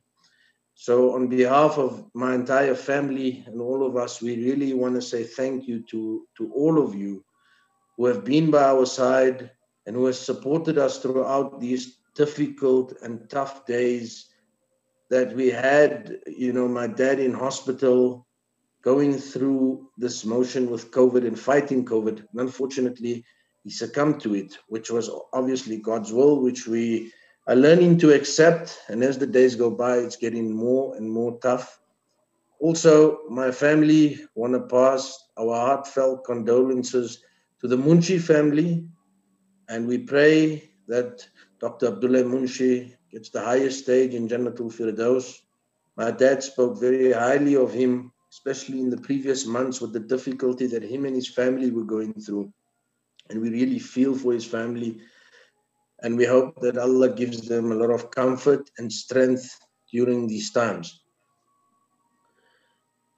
When I look at all the, the words and the messages, I know Dr. Fick has spoken about the days in theater, and the days he spent with my dad. But just before this, Dr. Waja touched on something which was dearest to his heart. And in saying this, I think we've got to continue with the charitable organization and continue this legacy. This particular interview, which Dr. Waja spoke about with his nephew, I actually listened to the last two minutes of that clip yesterday.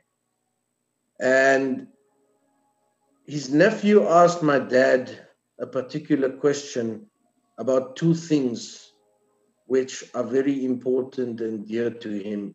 And the first was to treat each and every person equally and to make each and every person feel entitled and important, whether it's an orphan, whether it's a person of old age, whether it was a person who was destitute, a beggar, and he treats each and every person equally. And the second was to leave a legacy behind.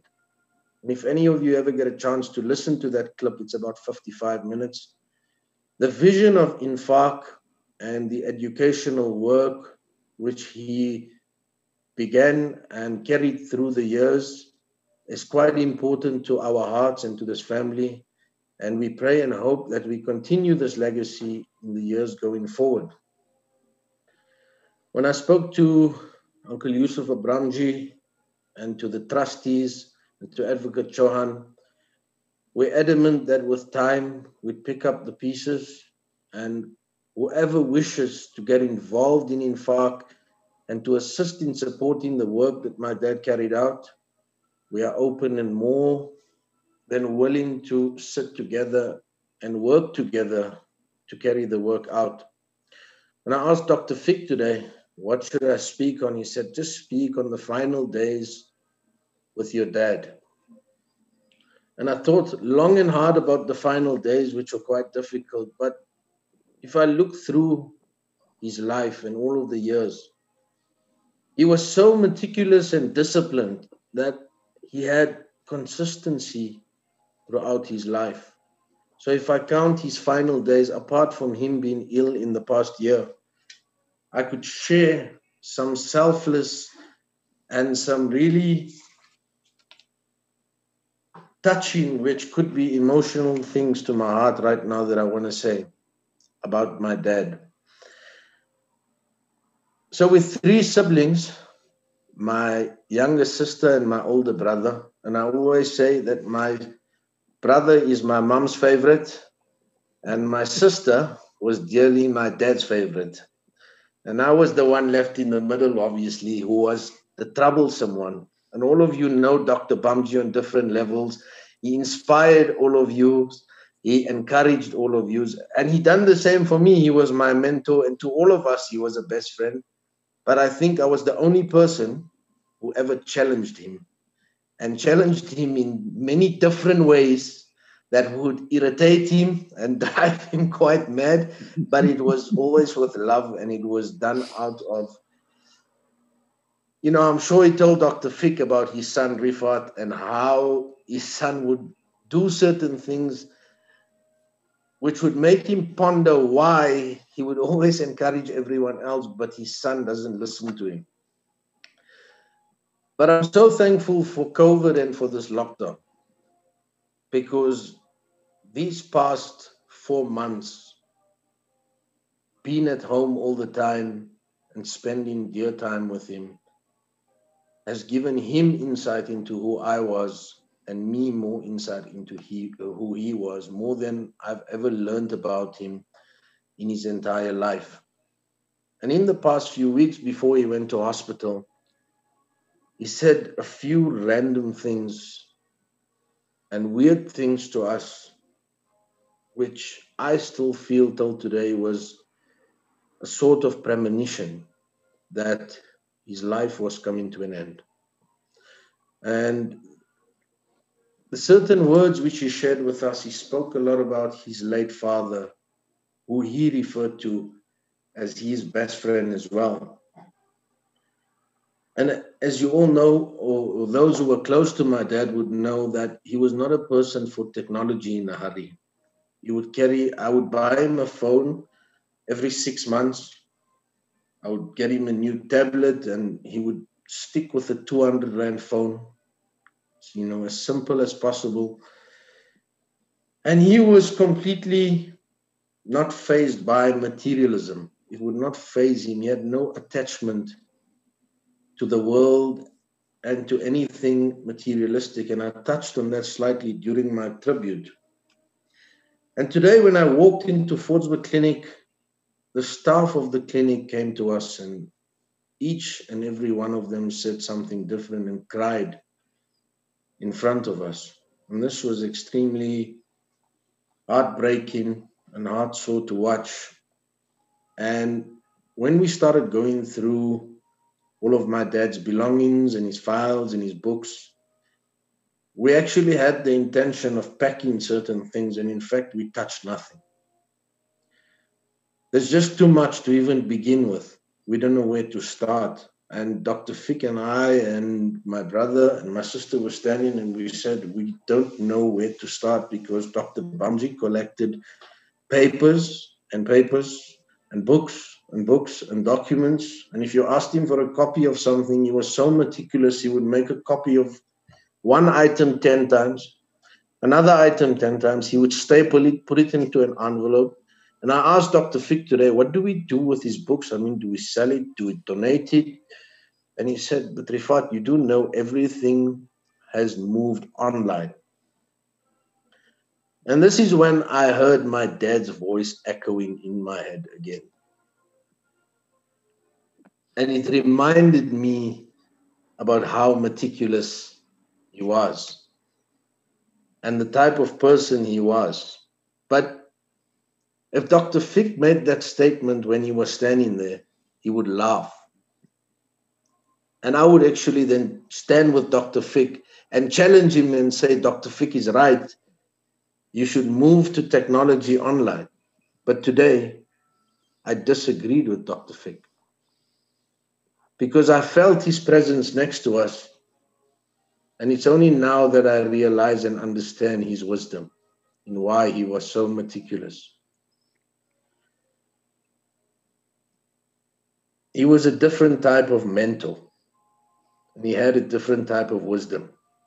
And if you knew him, and even if you sat in a meeting with him, he would never speak.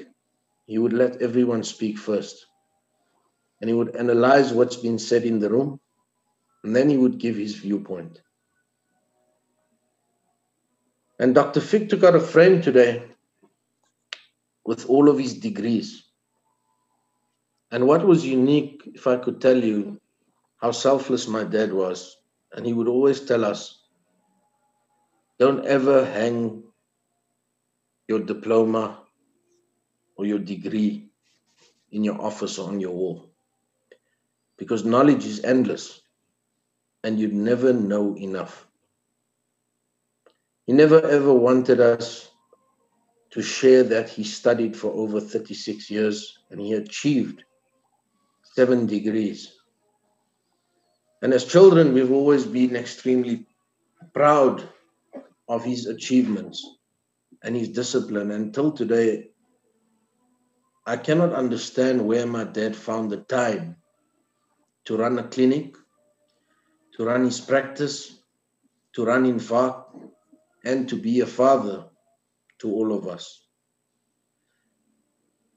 And for that, every time people have been sharing stories about my dad with us and saying, Dr. Bamjee impacted their lives in certain ways and had impact on inspiring them, encouraging them to pursue their careers, I lose words.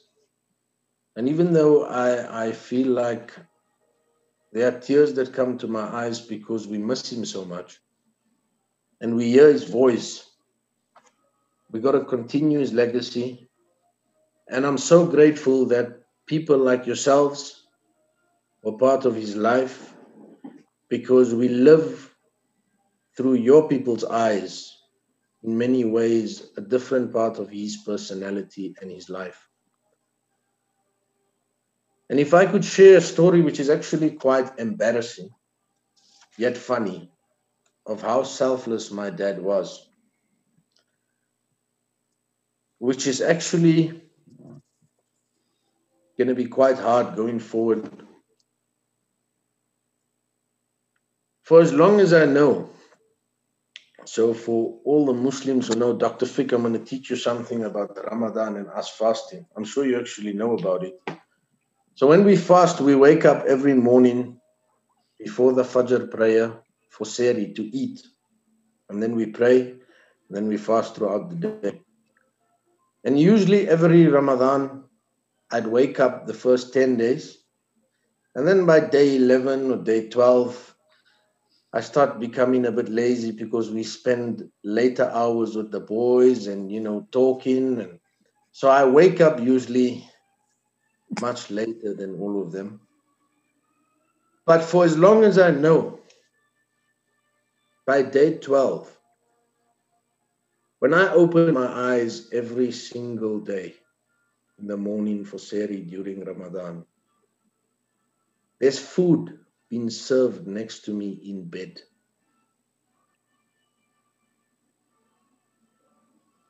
Tea, savories, and whatever was meant. And he'd be standing there and he would say, Our prophet always said, The slave will give birth to the master. And he'd laugh. Standing, holding my tea and my seri in his hand. And then I'd say, But why are you doing it? And he would always say, Rifaat, one day when I'm not here, you will remember me. And one day when you have children, you will understand and you'll do the same for them. And when I relate the story to many people, even when he was alive, he would laugh and he would say, Look at what a king my son is. Look at what a king my son is. and these are the memories and the type of things. It's actually quite, I feel actually embarrassed to tell the story, but this is the type of selfless person that he was. And when the three of us left the clinic today, all the staff gathered in a circle to give us a message, and each one of them cried and shed a tear. And they said, as much as he was your family, he was family to us. And we lost a father. And to touch on his final days, he was content. He was extremely content. From every time he went to hospital, whether it was his back up, his heart, whichever, he would always phone us and say, Your father's strong, don't worry, he's fine. He's fine. When we'd visit him, ah, your father's fine, don't worry. And this was the first time he told us, Pray for me. Pray for me. Pray for me. And when we phoned him, he said the exact same things. And to watch him struggle during these five, six weeks with COVID was extremely difficult for all of us. But we live with the good memories that he left us, with the joyous moments, the laughs. And he lived for humor. I would catch him sitting alone watching a movie or TV and laughing himself crazy alone. And a study would always show that if you're alone and you watch TV and you laugh alone, something's going on in your mind or in your brain that's not normal to other people. And these past few months or year has been as tough as it was for him, has been joy with his grandkids and with his family. And there was never ever a day he complained and he lived to enjoy every moment. So I'm going to end on a note to just read out the note he left, which was a Rumi quote as well to all of us. And the note reads On the day I die, when I'm being carried toward the grave, don't weep. Don't say, He's gone. He's gone.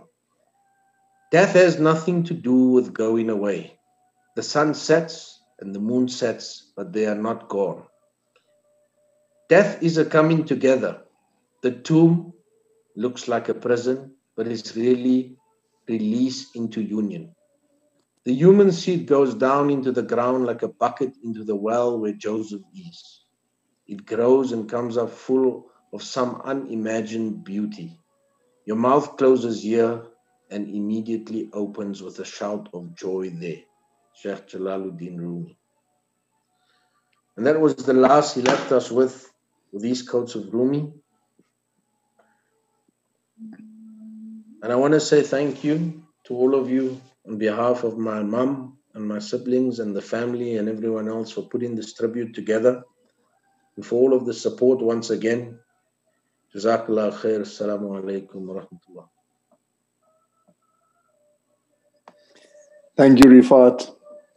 Thank you so much. It was really good to get that side of you. Um, yeah. And still today, I'm not so sure who's the slave and who's the master, but one day it will make sense. Thank you so much. We've come more or less to the end of our program. Thank you very much for participating. Thank you very much for listening. Thank you very much for your messages. There's one message before I hand over to Mohammed Coovadia, Dr. Coovadia. He's a co-director with me at Fordsburg Clinic. He's also a dental practitioner. Family member of Yusuf, a relative. Um, there's a message that I just want to share. And this message goes back to an acquaintance here from 1982. And this is from Strini Naidu. I think people know Strini. It says, Go well, Joe. Fond memories from Srini Naidu, class of 1980C, 1982, UWC. Condolences to the family from your classmates. Thank you, Srini. Mohammed, I'm handing over you to present a vote of thanks and the closure for this evening's for this evening's program. Thank you.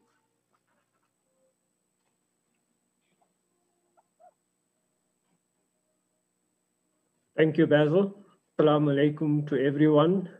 At the last count, we counted over 800 people that are tuning into this webcast at the moment. So we have come to the end of this tribute celebrating the life of the late Dr. Yusuf Bamjee. And I have the unenviable task of bringing this to a close. We would love to hear more about all good things have to come to an end. And I have to do the unenviable task. However, this is not the end of our remembrance of Dr. B, as he was affectionately known at Fordsburg Clinic, because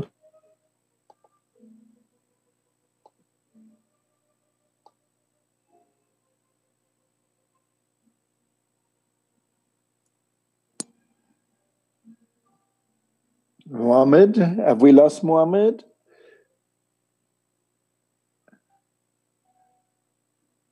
I think we may have. Can you hear contact. me now? I can hear you now, Mohammed. Yes. Okay. So, um, however, this is not the end of our remembrance of Dr. B, as he is affectionately known at Fordsburg Day Clinic because Dr. B has left us with a legacy.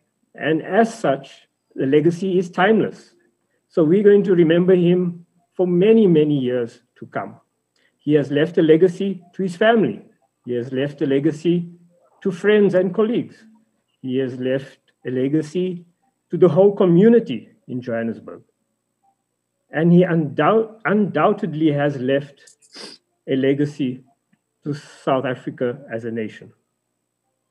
I speak on behalf of the board of directors of Fordsburg Day Clinic and will deliver the note of thanks, the vote of thanks. With regards to the legacy that Dr. B has left to the family, we thank first and foremost the young and courageous Ahmed Rifaat Bamjee. Thanks also to Mr. Ahmed Bamjee. With regards to the legacy that Dr. B has left to friends and colleagues, we thank Dr. Basil John, Basil Sean Fick, Dr. Mariam Bibi Alli, and Dr. Ismail Munshi. With regards to the legacy that Dr. B has left to the community, we thank Dr. Waja and Mr. Ahmed Akoob for highlighting this aspect of Dr. B's legacy. Fordsburg Day Clinic is synonymous with Dr. B. And the logo that we had at the inception of this webcast says it all. We see him smiling in front of the renovated Fordsburg Day Clinic. He has been there from inception to the final phase. And you've heard everyone talking about how meticulous he is. And believe me, he was meticulous in this aspect as well. He made sure that every tile was in its proper place. It is his baby, it was his baby, and will always be his baby. Thanks to the staff for highlighting that aspect of his legacy. to Mohammed Rifaat Bamjee, Mohammed Asif Bamjee, Marufa, and Mrs. Aisha Bamjee. We share in the pain and sorrow during this period of bereavement.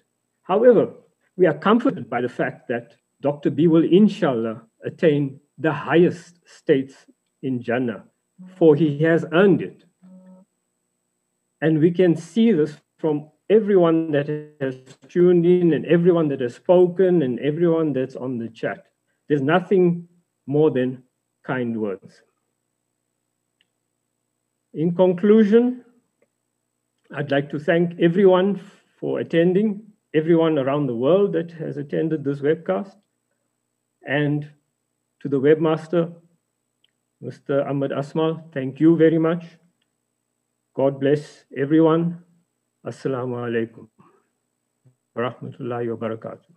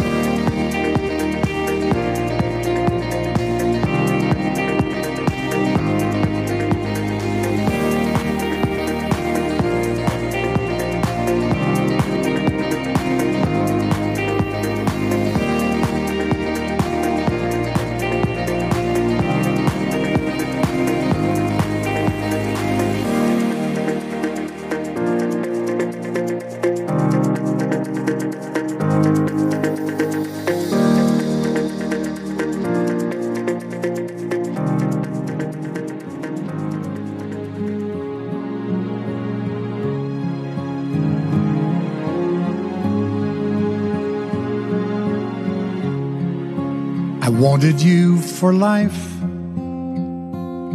you and me in the wind. I never thought there'd come a time that our story would end. It's hard to understand. But I guess I'll have to try. It's not easy to say goodbye.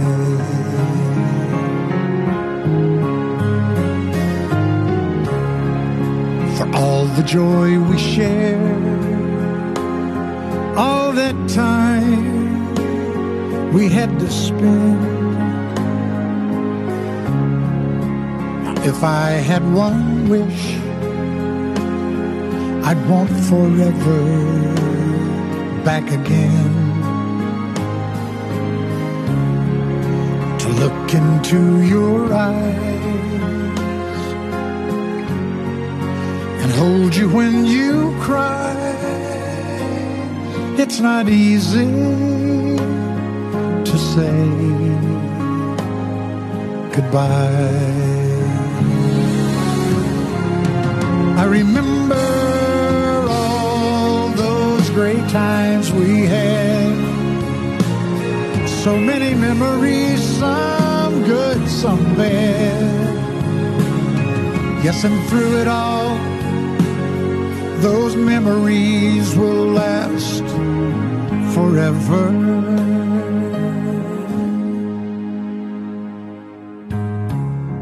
There's peace in all I need to know. And if I listen to my heart, I'll hear your laughter once more. And so I have to say, I'm just glad you came my way. It's not easy to say goodbye.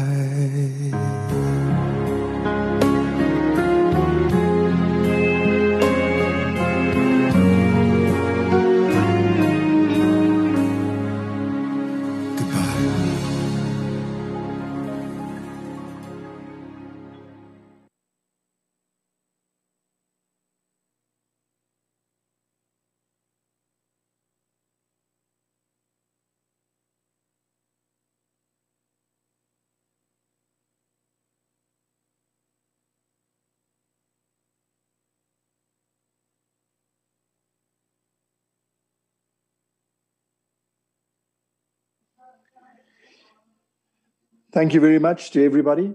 Thank you very much for participating. Um, apologies for the glitches that we've had during this webcast, but it is live. Um, these things happen, unfortunately, and we're all working and presenting from our various places of residence. So I remind you to stay safe, look after yourselves, spend time with your family.